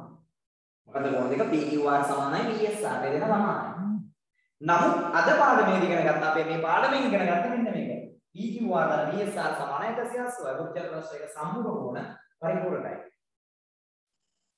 හරි මම මේක එකක් කරලා ලියනවා. මේ දෙන්නම වෙනකොට ලියනවා. 2යි PQR කියලා සමානයි 180. දෙපැත්තම බෙදනවා උදේ අරගෙන දෙකෙන් එතකොට එනවා PQR සමාන 90 මෙයා 90 එයා 90 එන PR විස්කම්භය හේතුව අර්ධ වෘත්ත ඛණ්ඩයේ කෝණය ඍජු කෝණයක් තියෙනවා. හරිනේ? ඕවා තමයි පුතේ සාධනය වනේ කල්පනා කරන්න ඕනේ ඉතින් පොඩ්ඩක්. ඊළඟට හදන ඊටත් වඩා අමාරු ගන්න. මේක විලෝමය උගන්නලා හරි? ඉතින් බය වෙන්න එපා ආයි පාරක් පොඩ්ඩක් බලා ගන්න අමාරුයි මම දන්නවා මේ හදපුවා ඉන්නවා මට නිකන් ෆෝන් එක බලන්න බැරි වුණා. දාලා ඇති. අදාගෙන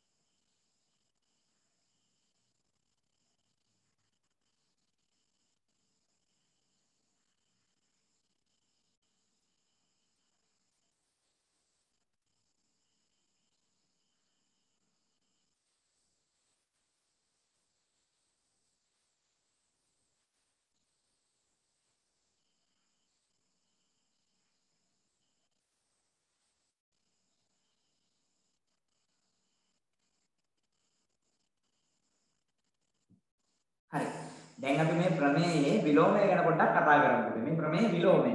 දැන් ප්‍රමේය තමයි මොකද්ද? වෘත්ත චතුරස්‍රයක සම්මුඛ කෝණ පරිපූර්ණක වේ කියන එක. ඒ කියන්නේ වෘත්ත චතුරස්‍රයක සම්මුඛ කෝණ පරිපූර්ණකයි. දැන් වෘත්තයක් නැතුව නිකම්ම චතුරස්‍රයක සම්මුඛ කෝණ පරිපූර්ණකයි නම් පුතේ මතක තියාගන්න. එයා අනිවාර්යෙන් වෘත්ත චතුරස්‍රයක් වෙනවා. එයා අනිවාර්යෙන් වෘත්ත චතුරස්‍රයක් වෙනවා. චතුරස්‍රය කියන්නේ අපි ගමු මෙහෙම. බලන්න මම ගන්න මතනවා දැන් මෙතන වෙලාවක් තියෙන්නේ.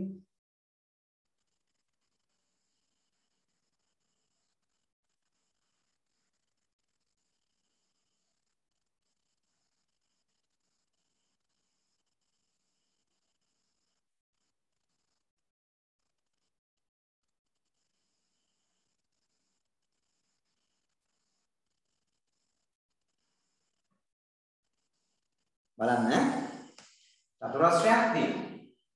වෘත්තයක් නෑ චතුරස්‍රයක් තියෙනවා. දැන් අපි හිතමු මේ චතුරස්‍රය සම්මුඛ කෝණයෙන් බල පරිපූර්ණයි. මෙයාගේ නම PQRS. හරි? අපි හිතමු මේ කෝණයාංශක 80යි මේ කෝණය 100යි. දැන් හිතන්නකෝ. කොහොම තියෙනවා? හරි? මේ පැත්තේ මේ කෝණයාංශක 70යි මේක 110යි.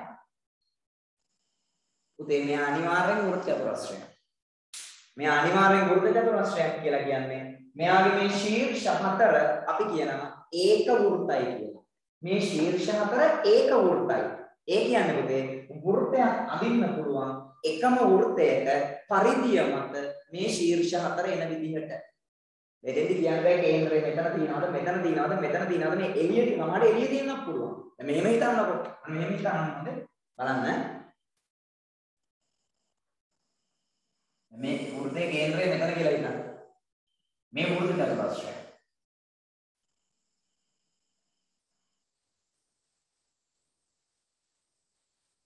මේක වෘත්ත චතුරස්‍රයක්. මේ අඳලා තියෙන එක වෘත්ත චතුරස්‍රයක්. එයි වෘත්තයක් මතනේ ශීර්ෂ හතරම තියෙන්නේ. නේද? ඒ කියන්නේ මෙයාගේ සම්මුඛ කෝණ පරිපූර්ණයි. මෙයයි මෙයයි එකතු කළොත් 180ක් වෙනවා. මෙයයි මෙයයි එකතු කළොත් 180ක් වෙනවා. ඒ කියන්නේ අපිට මෙයා අංශක 30යි කියලා. මෙයා 30යි නම් අනිවාර්යෙන් මෙයා 150ක් වෙනවා. අපි හිතමු මෙයා අංශක 60යි කියලා. මෙයා අනිවාර්යෙන් අංශක 120ක් වෙනවා. පැහැදිලිද? ඒ කියන්නේ මෙයා වෘත්ත චතුරස්‍රයක්. දැන් වෘත්තේ නැතුව හිතන්න මේ චතුරස්‍රය. දැන් වෘත්තේ නේ. දැන් චතුරස්‍රයක් තියෙනවා. මේ චතුරස්‍රයේ සම්මුඛ ශීර්ෂ පරිපූර්ණයි. එහෙම නැත්නම් සම්මුඛ කෝණවල එකතුව අංශක 180යි. මේ මේ එකතු කරත් 180යි, මේ මේ එකතු කරත් 180යි. එහෙනම් මෙයා වෘත චතුරස්‍රයක්. මෙයා වෘත චතුරස්‍රයක් කියන්නේ මෙයාගේ ශීර්ෂ හතර ඒක වෘත්තයි. ඒ කියන්නේ එකම වෘතයක පරිධියම මේ ශීර්ෂ හතර පිහිටනවා. ඉතින් ඒ වෘතය අඳින කතාව වෙනම එකක්. ඒක අඳිද්දි ඒක අඳින්න පුත් නෑ ඔයගලන්ට හොඳ නිර්මාණ පාඩමක් නෑ. හරි ඒක අඳිද්දි ශීර්ෂය මේක මැද්ද තියෙන්න ඕනේ. එහෙම කතාවක් නෑ. ඔයගොල්ලෝ දැක්කම මේකේ ශීර්ෂය තිබුණේ මෙන්න මෙතන. ඔන්න වෘතයක පරිධිය මතනේ මේ ශීර්ෂ හතර තිබුණේ අඳින්න කලින් නේද? ඒක මට අදාළ නෑ. දැනගන්න ඕනේ මෙච්චරයි චතුරස්‍රයක සම්මුඛ කෝණ පරිපූර්ණකයි නම් එයාගේ ශීර්ෂ හතරම එකම වෘත්තයක පරිධිය මත පිහිටන්න ඕනේ. එහෙම නැත්නම් එයා වෘත්ත චතුරස්‍රයක් කියන එක දැනගන්න ඕනේ. ඔච්චරයි. හරි? ලියන්න ඉහත ප්‍රමේයයේ විලෝමය. ඉහත ප්‍රමේයයේ විලෝමය.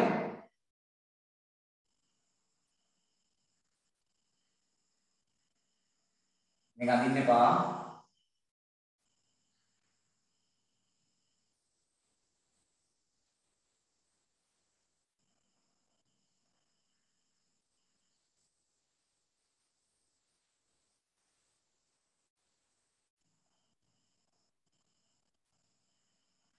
චතුරස්‍රයක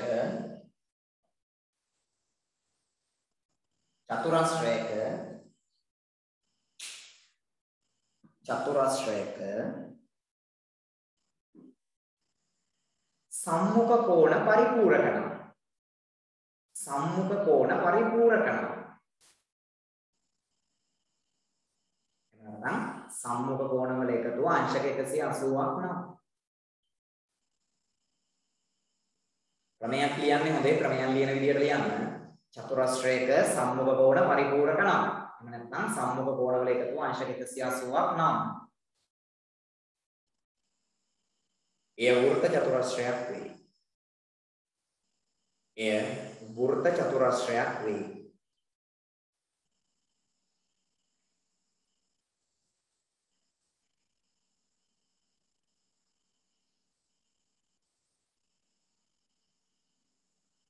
ඇඳ ගන්න රූපය.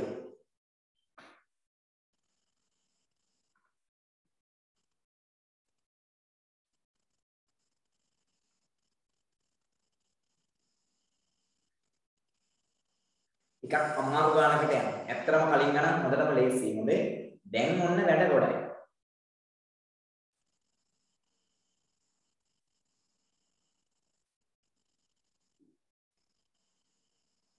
අපි පොතේ ගණනක් හදමු නැත්තම් මේක හැමතිස්සෙම ගණන් ලියන්න ගියාම ද රායි කියන්න ආයි කියන්න ගගා.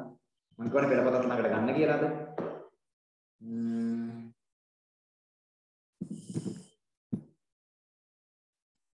හැටනමේ පිටුවේ පස්වෙනි ගාන. හැටනමේ පිටුවේ පස්වෙනි ගාන. පෙළපොතේ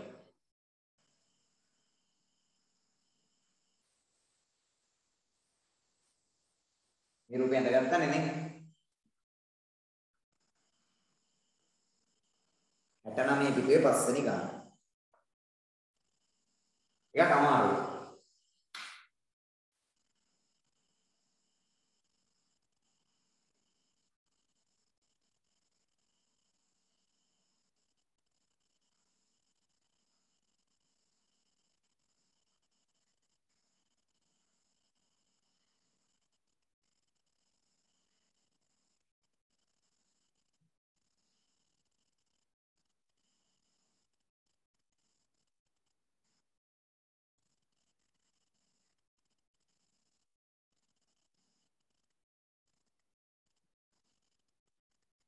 මේක කේන්ද්‍රය ඇඳලම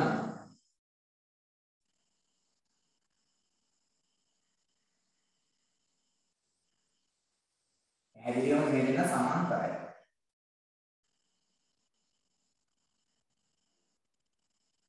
ABCD මෙහෙම මෙතන E.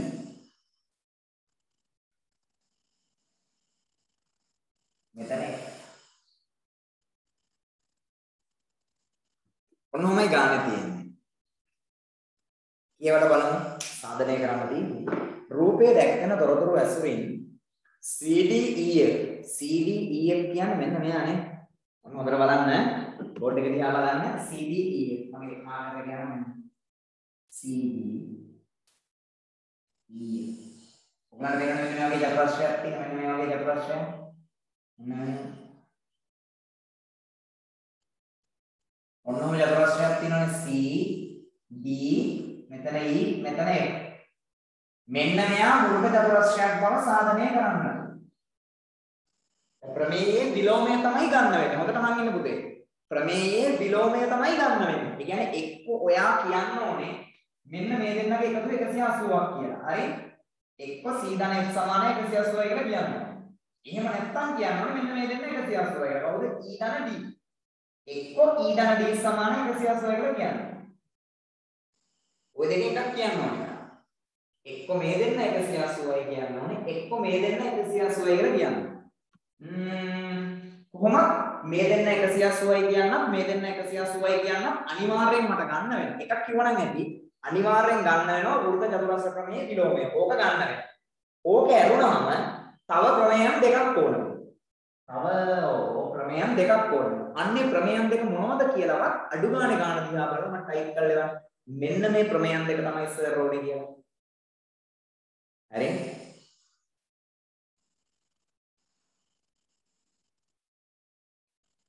මෙන්න මේ ප්‍රමේයන් දෙක තමයි ඕනේ කියලා මට ගන්න බලන්න. ඒක මට හිතා ගන්න පුළුවන්. ඔයාලා පොඩ්ඩක්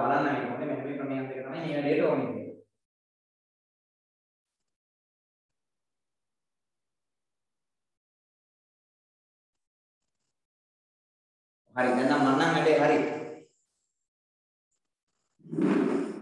කවුරු හරි වන්න ගන්න මේ ප්‍රමේයන් දෙකෙන් තමයි මේක හදන්නේ කියලා.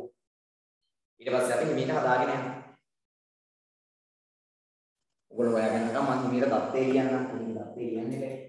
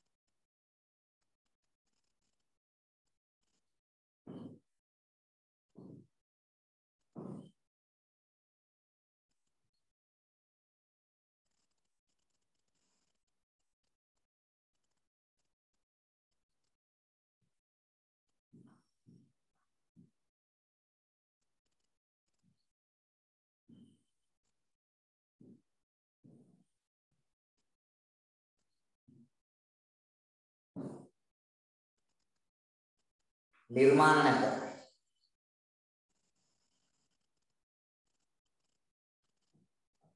හිතා ගන්න වැරදි මොන ක්‍රමයන්ද ඕනේ කියලා මට ඒවල කියන මොනවද බලමු. අනේ ඕයි ඒවල නෑ.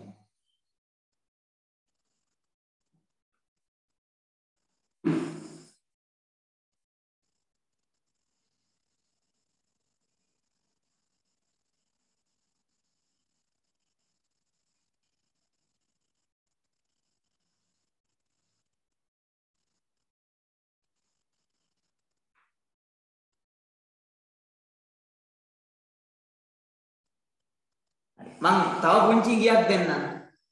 ඔයාලට කියන්න පුළුවන් මෙන්න මේ දෙන්න 180යි කියලා. මෙන්න මෙයයි මෙයයි එකතු කරොත් 180 වෙනවා කියලා කිව්වොත් තමයි මේක වෘත්ත චතුරස්‍රයක් වෙන්නේ. පැහැදිලිනේ ඔයගොල්ලන්ට? ඔය චතුරස්‍රය මෙවනේ චතුරස්‍රය තියෙන්නේ CD නැපුවා මෙතන. මෙහෙමනේ තියෙන්නේ කියන චතුරස්‍රය. මෙන්න මෙහෙම තියෙන්නේ. මේ දෙන්න 180යි කියලා ගත්තා නම් වැඩේ හරිනේ. CD FE. මෙන්න මේ කෝණ දෙකේ එකතු 180 කියලා කියන්න ඕනේ.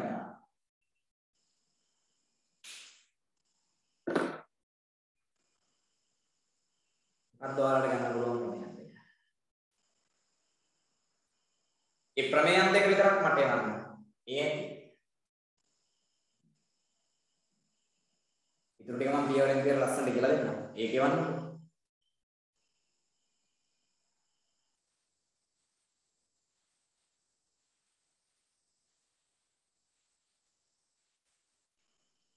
අරුෂියෙන් නැද්ද අදහසක්?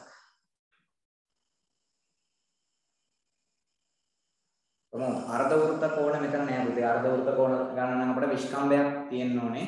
නේද? විස්කම්භයක් කියලා කියන්නේ මේකේ කේන්ද්‍රය නෑ. ඒ නිසා අර්ධ වෘත්ත ඛණ්ඩයේ කෝණ මෙතන ගන්න බෑ. සමිති එන්න නැද්ද දහස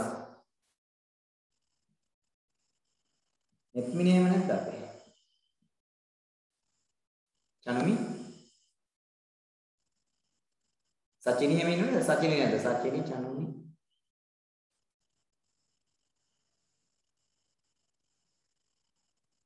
සඳුෂි. කොහොම සඳුෂි? ඉන්න නේද කතාවක් නැහැ නේද ඉන්න. විතරයි. සමිදි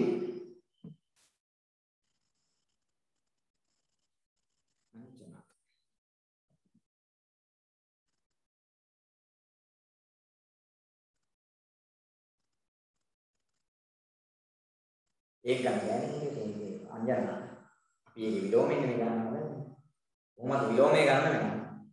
කලින් ඉගෙන ගත්ත ක්‍රමයන් දෙකක් ගන්නවා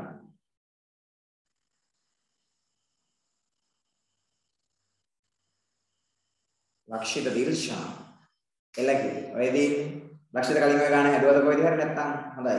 නියමයි. ලක්ෂිත දාලා දෙන උත්තරේ. උත්තරේ නෙමෙයි ප්‍රමේයන් දෙක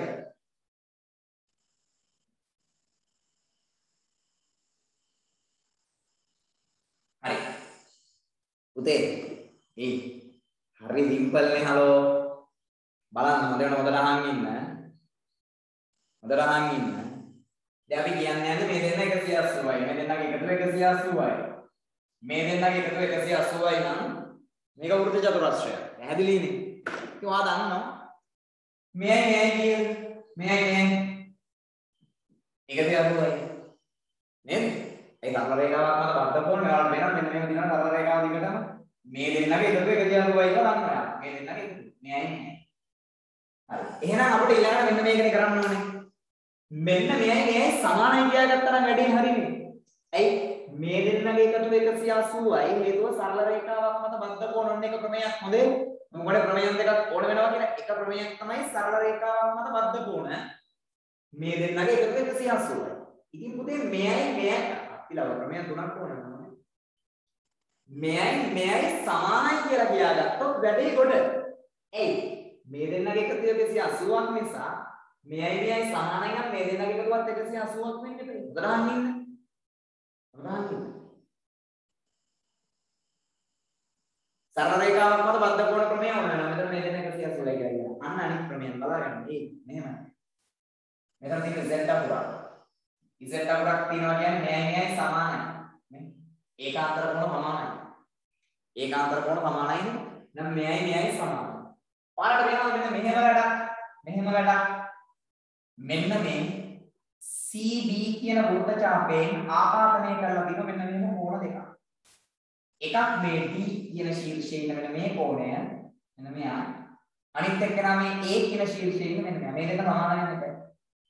ඇයි හේතුව එකම ඛණ්ඩයේ කෝණ. මේ දෙක සමානයි එකම ඛණ්ඩයේ කෝණ. පැහැදිලිද? මෙන්න මේ වෘත්ත ඛණ්ඩයේ ඉන්නේ එකම ඛණ්ඩයේ කෝණ දෙකක්. මේ දෙක සමානයි. ඉතින් දැන් වැඩේ හරියනේ හලෝ. මේ දෙන්න සමානයි නම් එකම ඛණ්ඩයේ කෝණ නම් මේ බලන්න. මෙතනින් ගහලා දින මෙයාට සමාන්තරව රේඛාවක්. බලන්නකො. මේ කෝණයයි මේ කෝණයයි සමාන වෙන්න ඕනේ. නේද? මෙයයි මෙයයි සමානයි නම් මෙයයි මෙයයි සමානයි නම් මෙයයි මෙයයි අනිවාර්යෙන් සමාන විය යුතුයි. ඉතින් මේ දෙන්නගේ එකතු 180ක් නම් මෙයයි මෙයයි සමානයි නම් මේ දෙන්නගේ එකතුවත් 180ක් වෙන්නම ඕනේ. හරි? සමිතිය කලින් කිව්වද මම දැක්කේ නේ කොට එන්න බෑ.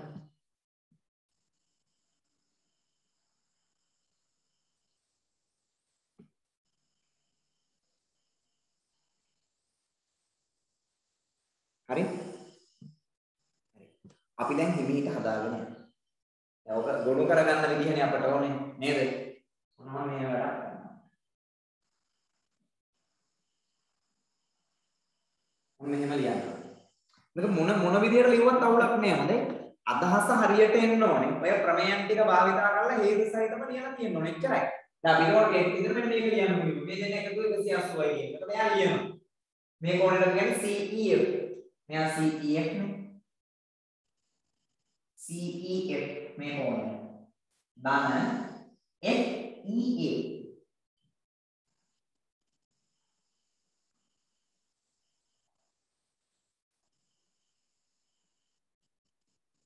සමානයි 180යි. හේතුව සරල රේඛාවක් මත වද්ද කෝණ.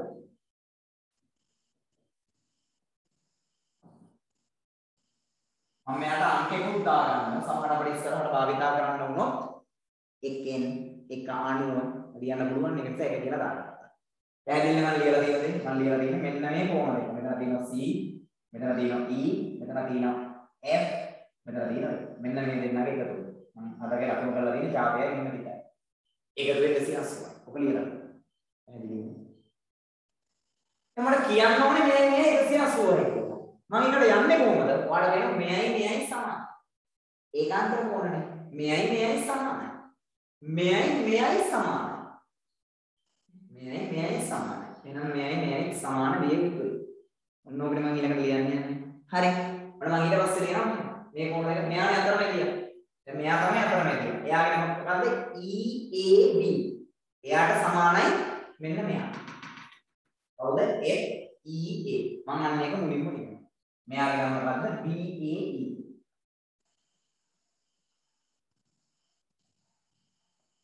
එයාට සමානයි මෙන්න මෙයා. කවුද?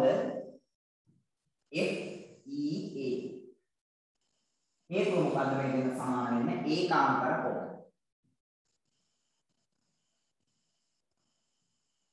ඒකාන්තර කෝණ. පැහැදිලිද? මෙයාට සමානයි මෙයා. කවුද? CDF. මෙයාගේ නම මොකද්ද? BAE නේ. BAE. එයාට සමානයි කවුද? මෙන්න මෙයා. CDF. CDF. ඒක මොකද්ද? එකම ඛණ්ඩයේ කොහොමද?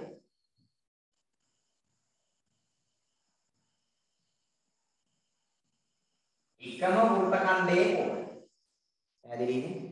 දැන් මම මේ දෙකටත් අංක දෙකක් දාන්නම්කෝ. මෙයා දෙක, මෙයා තුන. එහෙනම් මම ලියනවා උදේ දෙවනි සමීකරණය සමානයි තුන්වෙනි සමීකරණය. ඇයි හේතුව?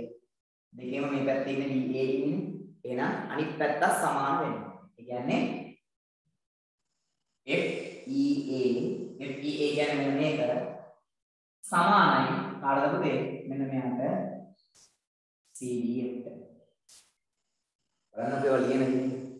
මොකද හේතුව ප්‍රත්‍යක්ෂ. ඔන්න ගන්න. හොඳ මේවා සුපිරි ගන්න. මේවා පිළිම මේ O level මට්ටම තමයි දැන් යන්නේ. හොඳේ. හරි. මොකද කිව්වේ මේ දෙන්න සමානයි. දැන් මම ලියනවා එම නිසා එම නිසා එකෙන්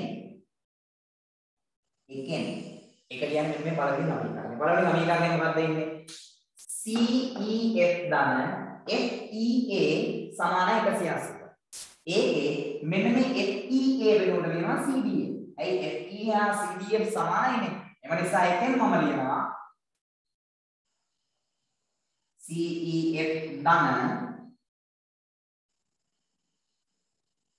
CEF ධන FEA වෙනුවට ලියනවා CDA.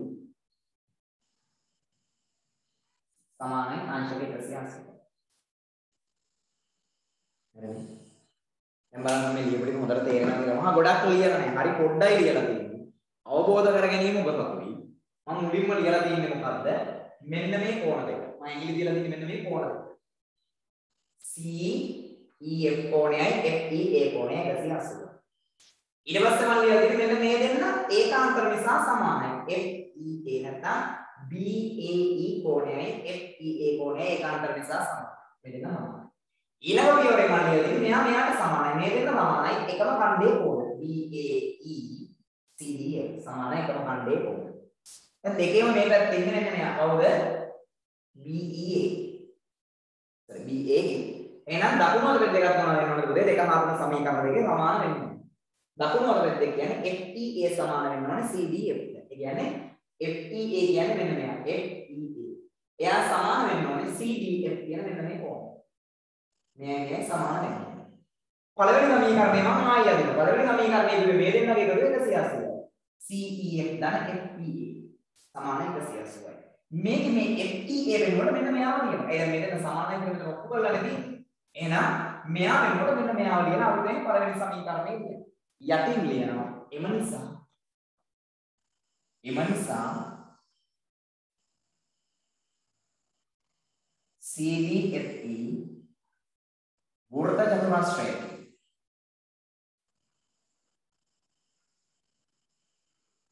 හේතුව මොකක්ද? සම්මුඛ කෝණ යුගලක් පරිපූර්ණක වීම. කියන අනිත් යුගලක් කොහොමද පරිපූර්ණකයි? හේතුව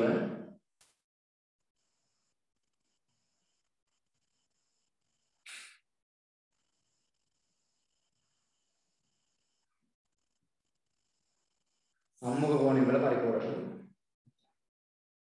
ඔන්න සාධනය. හරිනේ. ලියලා ආයි පාරක් බලාගෙන පන්ති කරමු. ඉක්මන් කරන්න.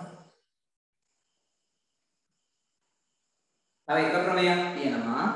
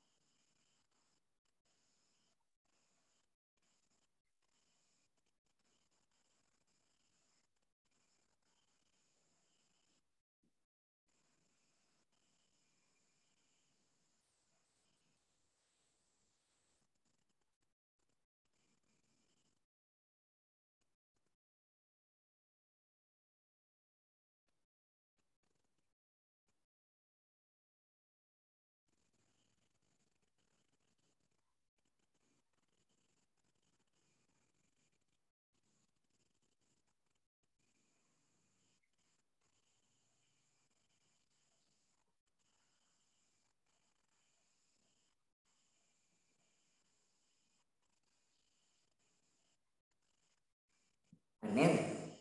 හරි උදේ.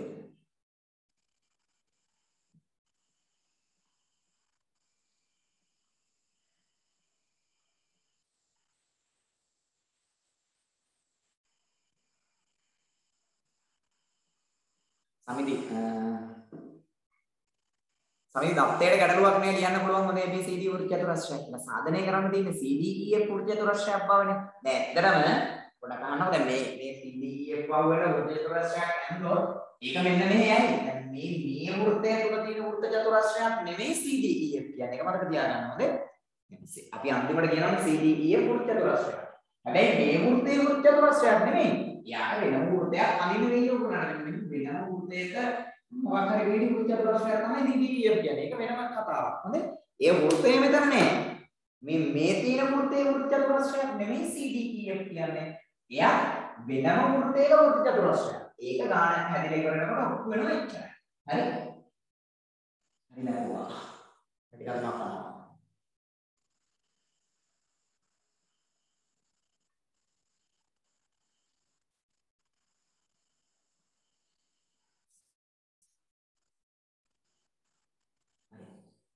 මතකද ඉගෙන ගත්ත මෙන්න මෙහෙම ක්‍රමයක්.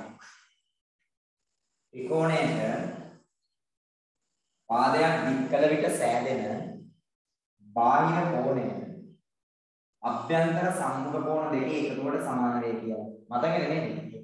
මතකද ඉතින් මතක් කරා නේද? අපි නම් මෙයා 120යි කියලා. මෙයා 120යි. හරි? එතකොට අපි හිතමු මෙයා 70යි කියලා. එහෙනම් මෙයා 50ක් වෙනවා. 70යි 50යි 120 වෙන්නේ. ඔක අපි කතා කරලා තියෙනවා ත්‍රිකෝණයක. ත්‍රිකෝණයක පාදයක් දික් කරගෙන පෑදෙන බාහිර කෝණය අභ්‍යන්තර සම්මුඛ කෝණ වල එකතුවට සමානයි. පුතේ ඔය අභ්‍යන්තර සම්මුඛ කෝණ කියන එක ගත්තේ කොහොමද? ත්‍රිකෝණයක පාදයක් දික් කරනවා කියන බාහිර කෝණය තියෙනවනේ. ඒ බාහිර කෝණයට බද්ධ වෙලා ඉන්න අභ්‍යන්තර කෝණය හැර ත්‍රිකෝණයේ ඉතිරි අභ්‍යන්තර කෝණ දෙකට තමයි අපි කියමු මොනවා කියලාද? අභ්‍යන්තර සම්මුඛ කෝණ කියනවා. ත්‍රිකෝණයක පාදයක් දික් කරාම හැදෙන බාහිර කෝණයට බද්ධ වෙලා ඉන්න අභ්‍යන්තර කෝණය හැර ඉතිරි අභ්‍යන්තර කෝණ දෙකට තමයි අපි කියන්නේ අභ්‍යන්තර සම්මුඛ කෝණ කියන්නේ. පුතේ වෘත්ත චතුරස්‍රයකක් තියෙන ඔය වගේ සීන් එකක්. මෙන්න මෙන්න.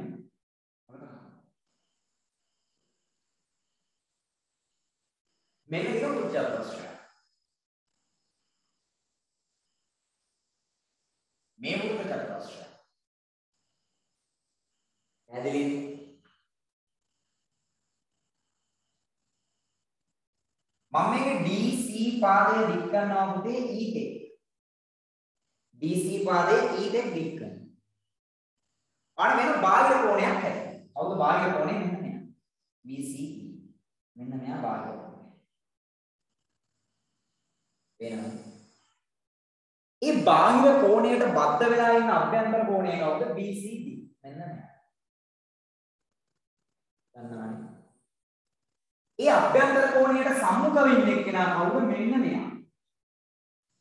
DAB. BAB.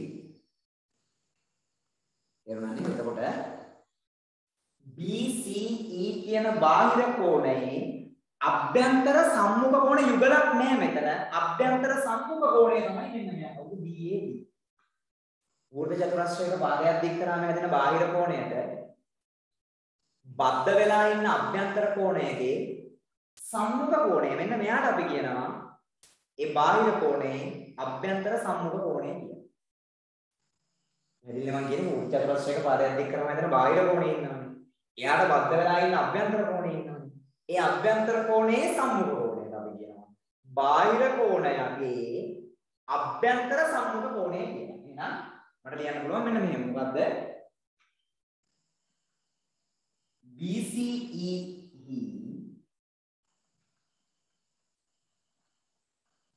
අභ්‍යන්තර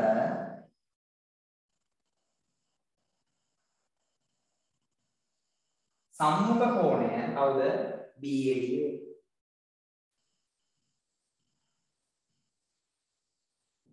හරි මුංජි නෝට් එකක් උදේ ප්‍රමේයක් නේ ප්‍රමේ ඊළඟට දෙන්න. ප්‍රමේ මහලපු දෙයක් නෙවෙයි කියලා තමයි. මේ මේ තමයි. ඔක තමයි ප්‍රමේ. හරි හරි තරල දෙයක් තියෙන ප්‍රමේ. අර ත්‍රිකෝණ ප්‍රමේ දැන් දෙන්නේ එකතු වෙලා නේ බාහිර කෝණයට සමාන වෙන්නේ. මේක දෙන්නේ එකතු වෙන්න ඕනේ නැහැ. මේ මේක ඉන්න සමාන වෙච්චයි. හරි? ලියන්න පුංචි වාක්‍යයක්. වාක්‍යයක්. වාක්‍යයක පුංචි මාත්‍රකාවක්. වෘත චතුරස්‍රයක වෘත චතුරස්‍රයක බාහිර කෝණය හා වෘත චතුරස්‍රයක බාහිර කෝණය හා අභ්‍යන්තර සම්මුඛ කෝණය අතර.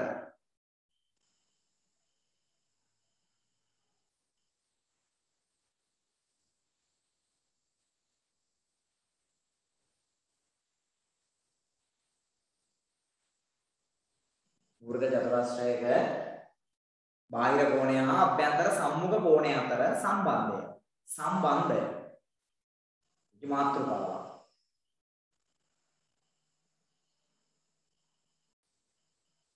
ඒ යටතේ ලියන්න පුතේ තරුවක් දාලා මෙන්න මෙහෙම. තරුවක් දාලා ලියන්න මෙන්න මෙහෙම. වෘත චතුරස්‍රයක වෘත චතුරස්‍රයක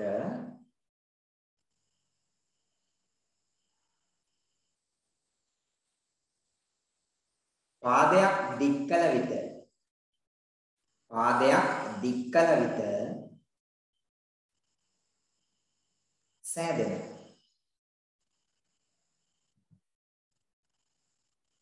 වෘත චතුරස්‍රයක පාදයක් දික් කළ විට සෑදෙන බාහිර කෝණයට බාහිර කෝණයට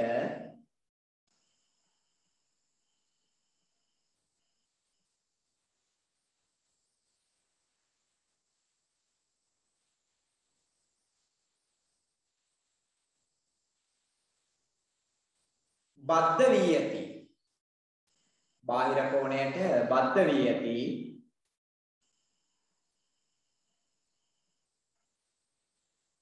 අභ්‍යන්තර කෝණයට. බාහිර කෝණයට බද්ධ වී ඇති අභ්‍යන්තර කෝණයට. සම්මුඛව ඇති කෝණය. සම්මුඛව ඇති කෝණය. ආයි බලන්න වාක්‍යයේ මුල ඉඳන් වෘත චතුරස්‍රයක පාදයක් දික් කළ විට සෑදෙන බාහිර කෝණයට බද්ධ වී ඇති අභ්‍යන්තර කෝණයට සම්මුඛව ඇති කෝණය. එම බාහිර කෝණයෙහි එම බාහිර කෝණයෙහි එම බාහිර කෝණයෙහි අභ්‍යන්තර සම්මුඛ කෝණයයි. එම බාහිර කෝණයෙහි අභ්‍යන්තර සම්මුඛ කෝණයයි. එම බාහිර කෝණයෙහි අභ්‍යන්තර සම්මුඛ කෝණයයි. එන්ද ලිව්වා. ඉක්මන් කරන්න.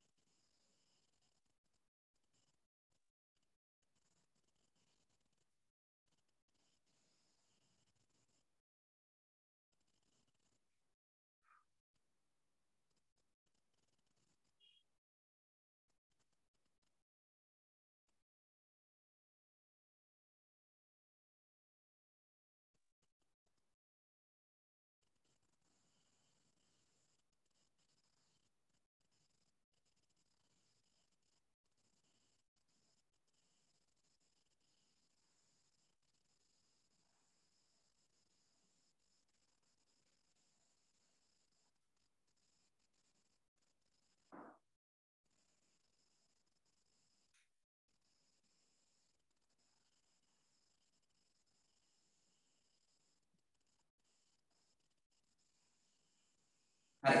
දැන් ලියන්න ප්‍රමේය. ප්‍රමේය. අය නිරුද්ධ මදින්න වෙනවා ප්‍රමේය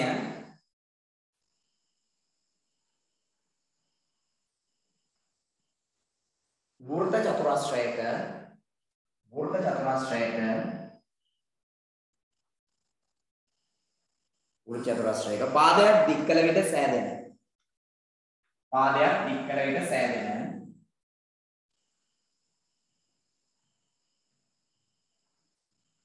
බාහිර කෝණය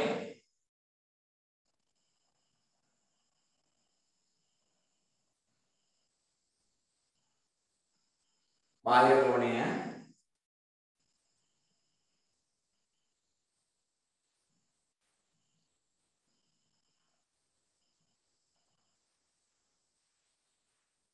අභ්‍යන්තර සම්මුඛ කෝණයට සමාන වේ.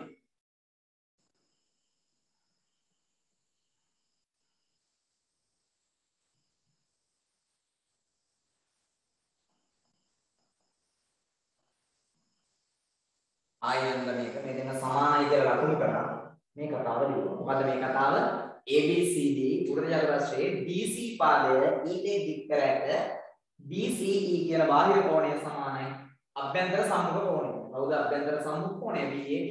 ඔච්චරයි. ඉක්මන් කරා.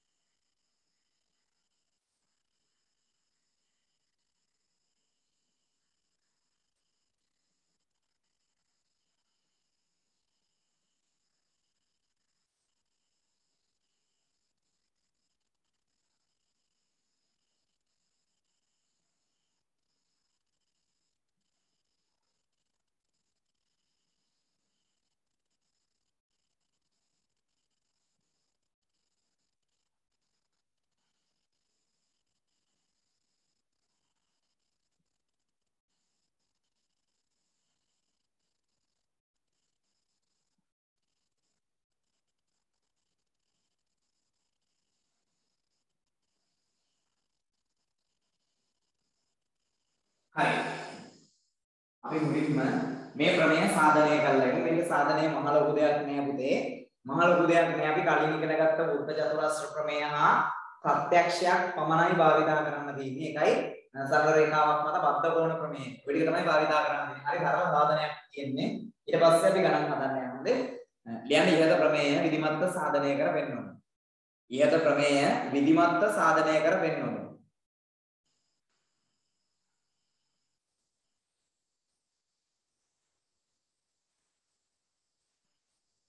ඕගොල්ලන්ටත් පුළුවන් ඇත්තටම ඕනම් මේක සාධනය කරන්න. නමුත් මම කාලය ගන්න බලාපොරොත්තු වෙන්නේ ඒකට ඕගොල්ලන්ගෙන් මම ඉඳලා මෙන්නම්. මෙච්චරයි.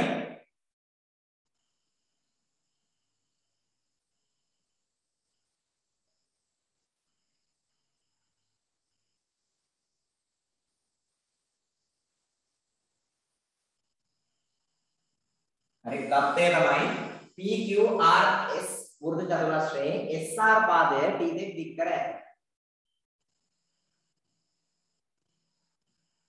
තත්ත්වය. ඔගොල්ලෝ ලියන්න ඕනේ. හොඳයි. හැබැයි මතක තියාගන්න RS පාදය කියලා හරියන්නේ SR පාදය තමයි T දෙක දික් කරන්නේ. මොකද RS පාදය දික් කරනවා කිව්වොත් මේ පැත්තට දික් කරන්න ඕනේ. SR පාදය දික් කරනවා කිව්වොත් තමයි අර පැත්තට දික් කරන්නේ. ඒවා මතක තියාගන්න ඕනේ.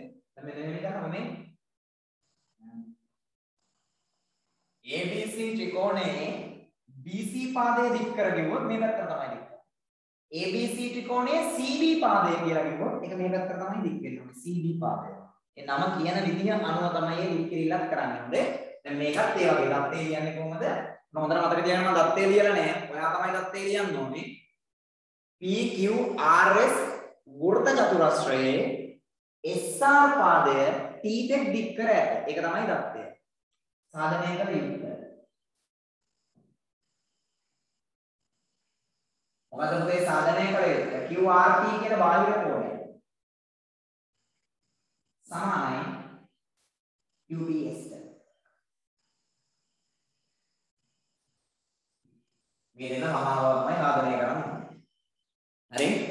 ඉතින් මේකේ මහා ලොකු දෙයක් නෑ නිර්මාණ මුකුත් නෑ. මෙලින් වලින්ම සාධනය. සාධනය වේලි තුනයි. වේලි තුනයි.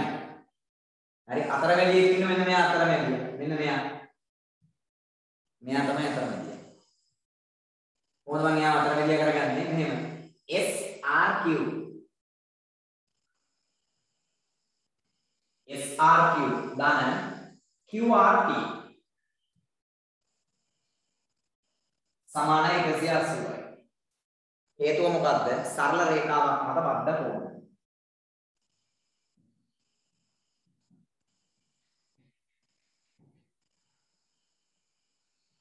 ඕක තමයි හේතුව. හරි? SRQ ගන්න QRT මේ දෙන්නගේ එකතුව අංශක 180යි. ඒ වගේම අපි ඉගෙන ගත්තා SRQ මෙයයි මෙයයි 180 ඒක අපි කලින් ඉගෙන ගත්තානේ. මොකද වෘත්ත චතුරස්‍රයක සම්මුඛ කෝණ පරිපූර්ණක. එහෙනම් SRQ ගන්න. අන්න අර මොකද QBS ඒත් 180යි. හේතුව මොකද්ද? වෘත්ත චතුරස්‍රයක සම්මුඛ කෝණ.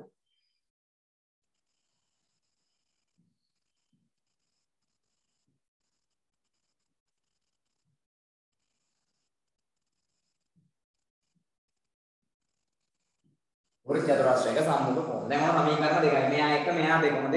පේන්නේ නැහැ මම එකයි දෙකයි කොනේ කියලා තියෙන්නේ පේන්නේ. හරි? දෙකෙන් එහා පැත්තේ ඉන්නේ 180. ඒක නිසා පළවෙනි සමීකරණය සමානයි දෙවෙනි සමීකරණය. ඒ කියන්නේ මේ දෙන්නගේ එකතුව සමානයි මේ දෙන්නගේ එකතුව. එහෙනම් ඔයාලට කියන්න පුළුවන් SPQ ධන QRT සමානයි SRQ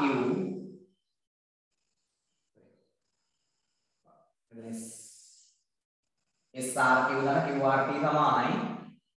SRQ ධන QPS දැන් ඔයාලට වෙන දෙපැත්තෙම ඉන්නේ එක්කෙනා. කවුද දෙපැත්තෙම ඉන්නේ? SRQ මෙන්න මෙයා. දෙපදින්ම SRQ ඉවත් කිරීම. නැත්නම් අඩු කිරීම. අඩු කිරීම දෙපසින්ම SRQ අඩු කිරීම ප්‍රත්‍යක්ෂ අනුවනේ කරන්නේ ප්‍රත්‍යක්ෂයක් අනුව ගුණවනේ සමාන රාශියෙන් දෙකකින් එකම රාශියක් අඩු කරන්න නේද එතකොට එනවා Q RT සමානයි QPS. ඕක තමයි මට කරලා පෙන්නන්න නේද? හරිනේ. හරි කරලා සාධනයක්. මම කරන සාධනය.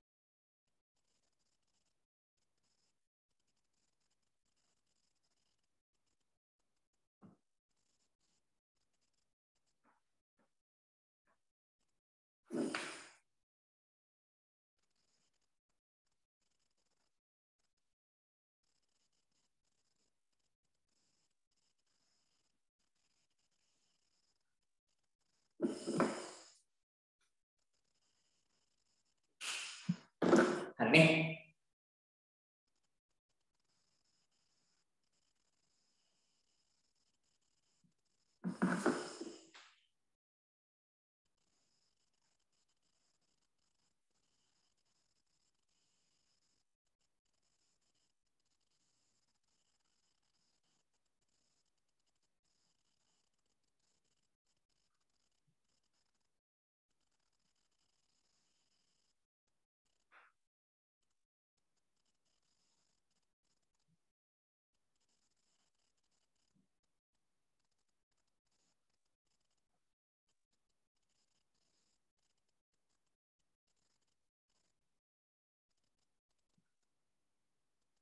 දැන් පුංචි ගණන් දෙකක් හොඳේ. මේකෙන් ලොකු ගණන් අපි ඊළඟ දවසේ හදමු ලොකු ගණන්. මේ ලොකු ගණන් හදද හැකි. සාධනය ගැන ගන්නොත් හදද හැකි. ඒ වගේම තව ඊට පස්සේ මේක ඉවර ඊට පස්සේ ස්පර්ශක සම්බන්ධ ප්‍රමේයන් තමයි අපිට ඊළඟ දවසේ කතා කරන්න ඉතුරු වෙන්නේ. ඊට පස්සේ පාඩම ඉවරයි පුතේ ස්පර්ශක ගැන කරාට පස්සේ. දැන් අතර මේ ගණන් දෙකේම තියෙන උත්තරේ දාන්න විතරයි. උත්තරේ දාන්න විතරනේ තියෙන්නේ. මුත් හැදිලි එකතු කරලා යනවා නම් මුකුත් නෑ. නේද? දැන් ඔයගොල්ලන්ට වෙනවා මෙයාගේ පාදයක් දික් කරාම හැදෙන බාහිර කෝණය තමයි x. මෙයා x. x ගේ අභ්‍යන්තර කෝණය මෙයා එයාට සම්මුඛ වෙන්නේ 105. එහෙනම් x සමාන වෙන්න ඕනේ කාටද අභ්‍යන්තර සම්මුඛ කෝණයට. x සමානයි අංශක 105යි. ඉතින් හදපු ක්‍රමයක් මොකුත් නැති නිසා මෙතන ක්‍රමය ලියන්න ඕනේ. මොකද්ද ක්‍රමය? වෘත්ත චතුරස්‍රයක පාදයක් දික් කෙරෙට සෑදෙන බාහිර කෝණය අභ්‍යන්තර සම්මුඛ කෝණයට සමාන වේවිච්චරයි. දැන් මේකෙත් මුකුත් කරන්න දෙයක් නැහැ. මේ ඉන්නේ පාදයක් දික් කෙරෙට සෑදෙන බාහිර කෝණය. එයා 70යි. එයා 70 මේ ඉන්නේ ආගේ අභ්‍යන්තර කෝණය. මේ ඉන්නේ අභ්‍යන්තර කෝණයට සම්මුඛ වෙන්නේ. එහෙනම් අභ්‍යන්තර සම්මුඛ කෝණය එයා 70යි. ඔය ප්‍රමේය මෙතන ලියන්න විතරයි තියෙන්නේ. හදන්න දෙයක් ඇත්තෙම නැහැ. හරිනේ? හරි. ඔය ගණන් දෙක ලියන්න. ඔය සරල පුංචි ගණන් දෙකක් ඔය තියෙන්නේ.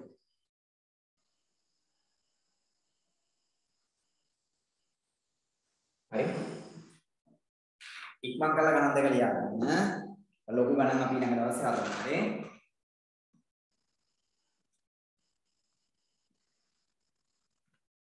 ලියාගන්න කියලා වහගෙන ඉන්න.